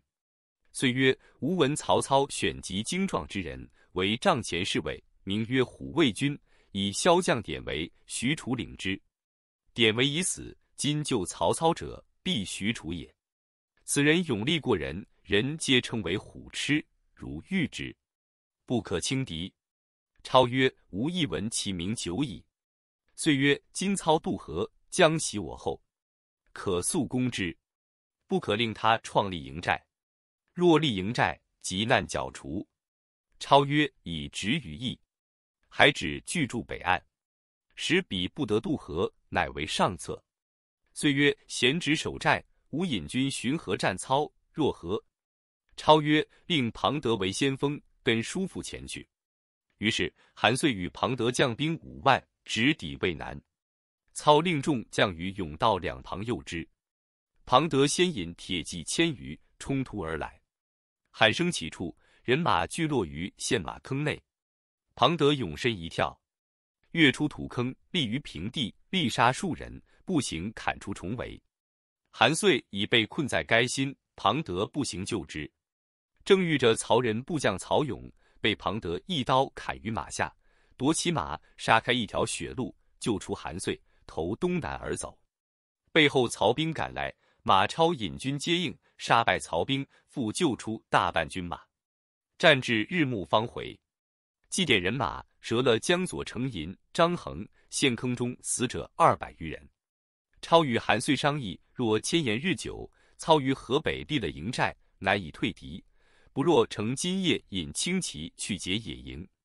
遂曰：须分兵前后相救。于是超自为前部，令庞德、马岱为后应，当夜便行。却说曹操收兵屯渭北，唤诸将曰：“贼欺我未立寨棚，必来劫野营，可四散伏兵，须其中军。号炮响时，伏兵尽起，一鼓可擒也。”众将依令，伏兵已毕。当夜，马超却先使程颐引三十骑往前哨探，程颐见无人马，进入中军。操军见西凉兵到，遂放号炮，四面伏兵皆出，只围得三十骑。程颐被夏侯渊所杀，马超却自从背后与庞德、马带兵分三路蜂拥杀来。正是：纵有伏兵能后敌，怎当健将共争先？未知胜负若何，且看下文分解。第五十九回，许褚裸衣斗马超，曹操抹书奸韩遂。却说当夜两兵混战，直到天明，各自收兵。马超屯兵渭口，日夜分兵前后攻击。曹操在渭河内将船筏锁链做浮桥三条，接连答案。曹仁引军加河立寨，将粮草车辆穿连，以为屏障。马超闻之，叫军士各携草一束，带着火种，与韩遂引军并力杀到寨前，堆积草把，放起烈火。操兵抵敌不住，弃寨而走。车城、浮桥尽被烧毁。西凉兵大胜，截住渭河。曹操立不起营寨，心中忧惧。荀攸曰：“可取渭河沙土，筑其土城，可以坚守。”操拨三万军单土筑城。马超又差庞德、马岱各引五百马军往来冲突，更兼沙土不实，筑起便倒，操无计可施。时当九月尽，天气暴冷，彤云密布，连日不开。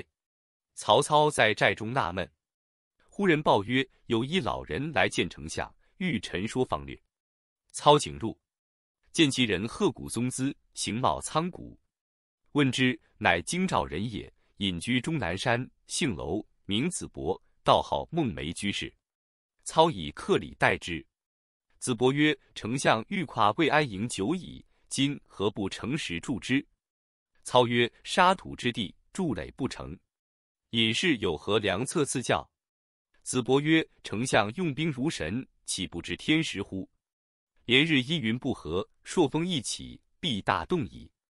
风起之后，驱兵士运土泼水，比及天明。”土城已就，操大悟，后赏子伯。子伯不受而去。是夜北风大作，操进驱兵士担土泼水，为无盛水之具，作坚囊盛水浇之，随筑随动。比及天明，沙水冻紧，土城已筑完。细作报之马超，超领兵观之，大惊，已有神助。次日，即大军乌谷而进。操自乘马出营，只有许褚一人随后。操扬鞭大呼曰：“孟德单骑至此，请马超出来答话。”超乘马挺枪而出。操曰：“汝欺我营寨不成？今一夜天已铸就，汝何不早降？”马超大怒，意欲突前擒之。见操背后一人睁圆怪眼，手提钢刀，勒马而立。超疑是许褚，乃扬鞭问曰：“闻汝军中有虎侯？”安在哉？许褚提刀大叫曰：“无极乔郡许褚也！”目射神光，威风抖擞。超不敢动，乃勒马回。操亦引许褚回寨，两军观之，无不骇然。操谓诸将曰：“贼亦知仲康乃虎侯也。自此军中皆称楚为虎后。”许褚曰：“某来日必擒马超。”操曰：“马超英勇，不可轻敌。”楚曰：“某事与死战，即使人下战书，说虎侯擅诺马超来日决战。超接书，大怒曰：‘何敢如此相欺也！’即批次日誓杀虎痴。次日，两军出营不成阵势。超分庞德为左翼，马岱为右翼，韩遂牙中军。超挺枪纵马，立于阵前，高叫：‘虎痴快出！’曹操在门旗下回顾众将曰：“马超不减吕布之勇。”言未绝，许褚拍马舞刀而出，马超挺枪接战，斗了一百余合，胜负不分。马匹困乏，各回军中换了马匹，又出阵前，又斗一百余合，不分胜负。许褚兴起，飞回阵中，卸了盔甲，浑身金突，赤体提刀，翻身上马来与马超决战。两军大骇，两个又斗到三十余合，楚奋威举刀便砍马超，超闪过，一枪往楚心窝刺来。楚弃刀将枪协住，两个在马上夺枪。许褚力大，一声响，拗断枪杆，各拿半截在马上乱打。操恐楚有失，遂令夏侯渊、曹洪两将齐出夹攻。庞德、马岱见操将齐出，挥两翼铁骑横冲直撞，混杀将来。操兵大乱，许褚必中两箭，诸将慌退入寨。马超直杀到壕边，操兵折伤大半。操令坚壁修出。马超回至魏口，谓韩遂曰：“吾见恶战者，莫如许褚，真虎吃也。”却说曹操料马超可以击破，乃密令徐晃、朱灵进渡河西结营，前后夹攻。一日，操于城上见马超引数百骑直临寨前，往来如飞。操观良久，至兜谋于地曰：“马儿不死，吾无葬地矣。”夏侯渊听了，心中气愤，厉声曰：“吾宁死于此地，誓灭马贼！”遂引本部千余人，大开寨门，只赶去。操急止不住，恐其有失，慌自上马前来接应。马超见曹兵至，乃将前军做后队，后队做先锋，一字儿摆开。夏侯渊道：“马超接往厮杀。”超于乱军中遥见曹操，就瞥了夏侯渊，直取曹操。操大惊，拨马而走。曹兵大乱，正追之际，忽报操有义军已在河西下了营寨。超大惊，无心追赶。即收军回寨，与韩遂商议，言操兵乘虚以渡河西，吴军前后受敌，如之奈何？部将李堪曰：“不如割地请和，两家且各罢兵，挨过冬天，到春暖别作计议。”韩遂曰：“李堪之言最善，可从之。”超犹豫未决，杨秋、侯选皆劝求和，于是韩遂遣杨秋为使，直往操寨下书。言割地请和之事，操曰：“如且回寨，吾来日使人回报。”杨秋辞去。贾诩入见操曰：“丞相主意若何？”操曰：“公所见若何？”许曰：“兵不厌诈，可为许之。然后用反间计，令韩马相疑，则一鼓可破也。”操府长大喜曰：“天下高见，多有相合。文和之谋，正吾心中之事也。”于是遣人回书言：“待我徐徐退兵，还汝河西之地。”一面叫搭起浮桥，作退军之意。马超得书，谓韩遂曰：“曹操虽然许和，奸雄难测，倘不准备，反受其制。”超与叔父轮流调兵，今日书向操，超向徐晃；明日抄向操，书向徐晃，分头提备，以防其诈。韩遂依计而行。早有人报之曹操，操故贾诩曰：“无事计矣。”问来日是谁合向我这边？人报曰：“韩遂。”次日，操引众将出营，左右围绕，操独显一骑于中央。韩遂不足，多有不识操者出阵观看。操高叫曰：“汝诸君欲观曹公也，无亦由人也，非有四目两口，但多智谋耳。”诸君皆有惧色。操使人过阵，谓韩遂曰：“丞相仅请韩将军会话。”韩遂即出阵，见操并无甲仗，一弃衣甲，轻扶匹马而出。二人马头相交，各按配对语。操曰：“吾与将军之父同举孝廉，吾常以书示之。吾亦与公同登仕路，不觉有年矣。将军今年妙龄几何？”韩遂答曰：“四十岁矣。”操曰：“往日在京师，皆青春年少，何期又中旬矣？安得天下清平共乐也？只把旧事细说，并不提起军情。”说罢大笑，相谈有一个时辰，方回马而别，各自归寨。早有人将此事报之马超，超忙来问韩遂曰：“今日曹操阵前所言何事？”遂曰：“只诉京师旧事耳。”超曰：“安得不言军务乎？”遂曰：“曹操不言，吾何独言之？”超心甚疑，不言而退。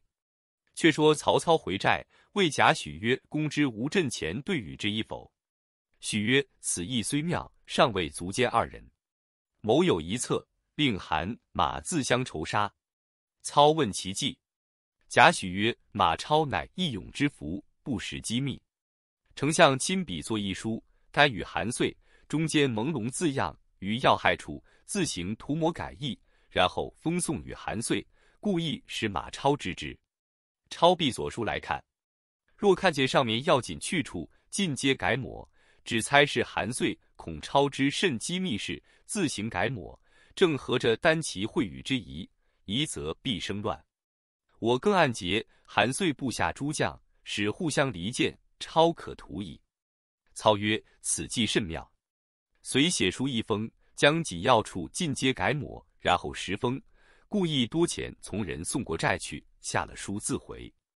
果然有人报之马超，超心欲疑。竟来韩遂处所书看，韩遂将书与抄，抄见上面有改抹字样，问遂曰：“书上如何都改抹糊涂？”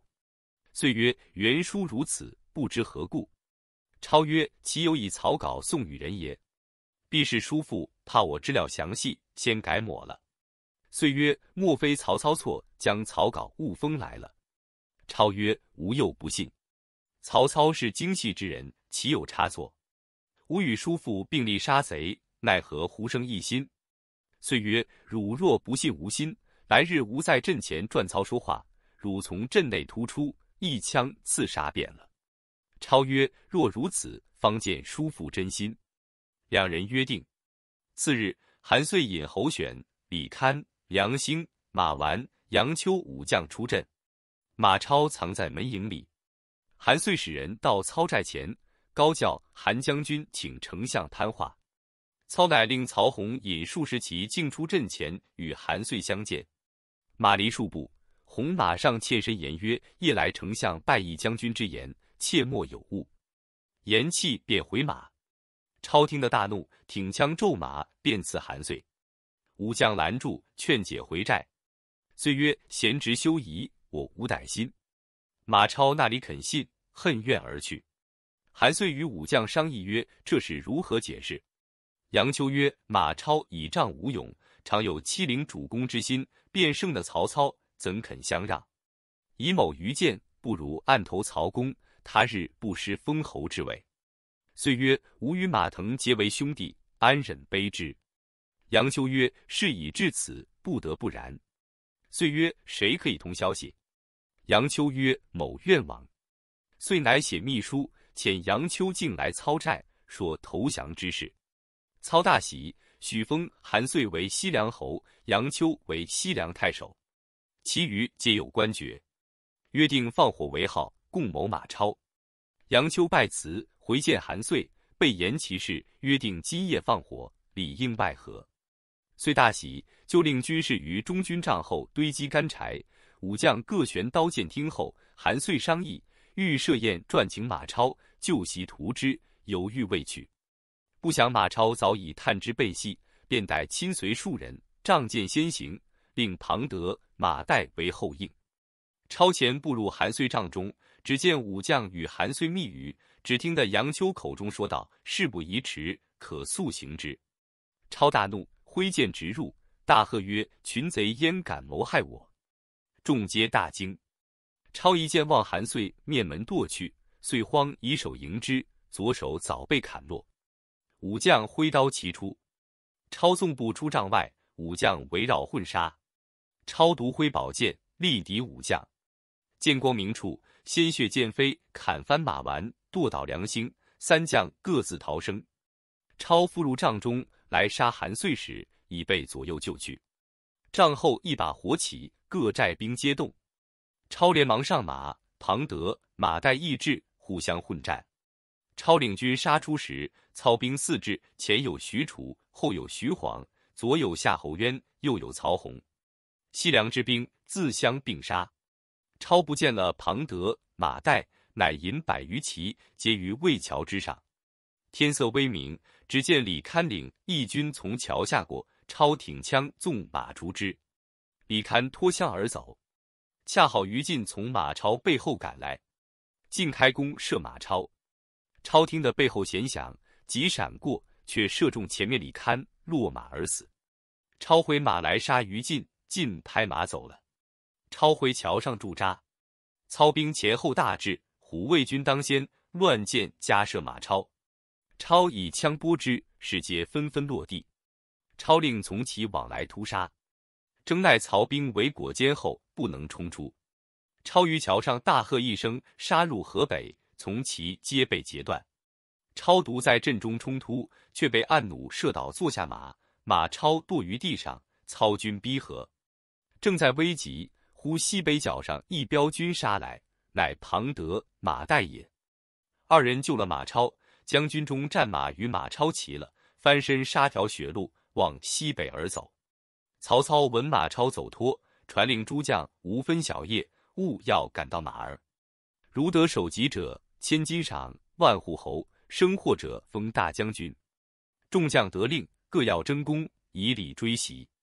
马超顾不得人马困乏，只顾奔走。从其渐渐皆散，步兵走不上者多被擒去，只剩得三十余骑，与庞德、马岱望陇西临逃而去。曹操亲自追至安定，知马超去远，方收兵回长安。众将毕急，韩遂已无所手，做了残疾之人。操教就于长安歇马。受西凉侯之职，杨秋、侯选皆封列侯，令守卫口。下令班师回许都。凉州参军杨阜，字义山，竟来长安见操。操问之，杨阜曰：“马超有吕布之勇，深得羌人之心。今丞相若不成事剿绝，他日养成气力，陇上诸郡，非复国家之有也。望丞相且休回兵。”操曰：“吾本欲留兵征之，乃中原多事，南方未定，不可久留。君当为孤保之。”傅领诺，又保荐韦康为凉州刺史，同领兵屯蓟城，以防马超。傅临行，请于操曰：“长安必留重兵，以为后援。”操曰：“吾已定下，汝但放心。”复辞而去。众将皆问曰：“出贼据潼关，渭北道缺。”丞相不从河东击冯异，而反守潼关，千言日久，而后北渡，立营固守，何也？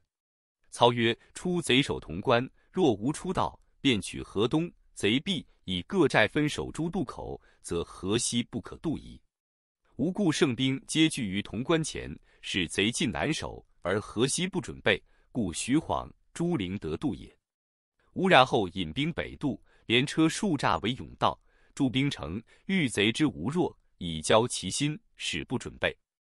吾乃巧用反间，处士卒之力，一旦击破之。正所谓急雷不及掩耳，兵之变化，故非一道也。众将又请问曰：“丞相每闻贼加兵添众，则有喜色，何也？”操曰：“关中边远，若群贼各依险阻，争之非一二年不可平复。今皆来聚一处。”其众虽多，人心不一，易于离间，一举可灭，无故喜也。众将拜曰：“丞相神谋，众不及也。”操曰：“亦赖汝众文武之力。”遂重赏诸军。留夏侯渊屯兵长安，所得降兵分拨各部。夏侯渊保举冯异高陵人，姓张，名季，字德荣，为京兆尹，与渊同守长安。操班师回都。献帝排鸾驾出郭迎接，赵操暂败不明，入朝不趋，见吕上殿，如汉向萧何故事。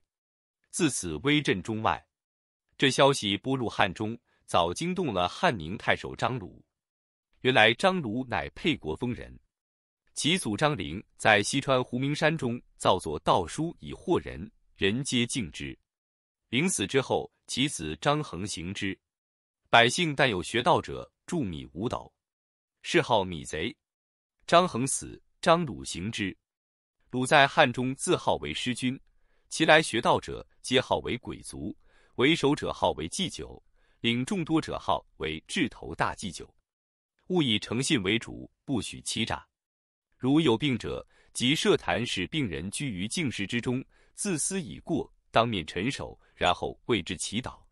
主祈祷之事者，号为监令祭洒。祈祷之法，书病人姓名，说服罪之意，作文三通，名为三官手书。一通放于山顶以奏天，一通埋于地以奏地，一通沉于水以申水官。如此之后，但病全可，将米五斗为谢。又盖一舍，舍内饭米、柴火、肉食齐备，许过往人量食多少，自取而食。多取者受天诛。境内有犯法者，必数三次，不改者，然后施行。所在并无官长，尽属祭酒所管。如此雄踞汉中之地已三十年。国家以为地远不能征伐，就命鲁为镇南中郎将，领汉宁太守，通进贡而已。当年文操破西凉之众，威震天下，乃聚众商议曰：“西凉马腾遭戮，马超新败，曹操必将侵我汉中。我欲自称汉宁王，督兵拒曹操。诸君以为何如？”颜普曰：“汉川之民户出十万余众，财富良足，四面险固。今马超新败，西凉之民从子午谷奔入汉中者不下数万，于益益州刘璋昏弱。”不如先取西川四十一州为本，然后称王未迟。张鲁大喜，遂与弟张卫商议起兵。早有细作报入川中。却说益州刘璋，字季玉，即刘焉之子，汉鲁公王之后。张帝元和中，喜封晋陵，知数因居于此。后燕官至益州牧，兴平元年患病居而死。周大力赵伟等共保张为益州牧。张曾杀张鲁母及弟，因此有仇。张使庞熙为巴西太守，以拒张鲁。石龙溪探知张鲁欲兴兵取川，即报之刘璋。张平生懦弱，闻得此信，心中大忧，即聚众官商议。忽一人昂然而出曰：“主公放心，某虽不才，凭三寸不烂之舌，使张鲁不敢正眼来取西川。正是。”只因蜀地谋臣进，致引荆州豪杰来。未知此人是谁？且看下文分解。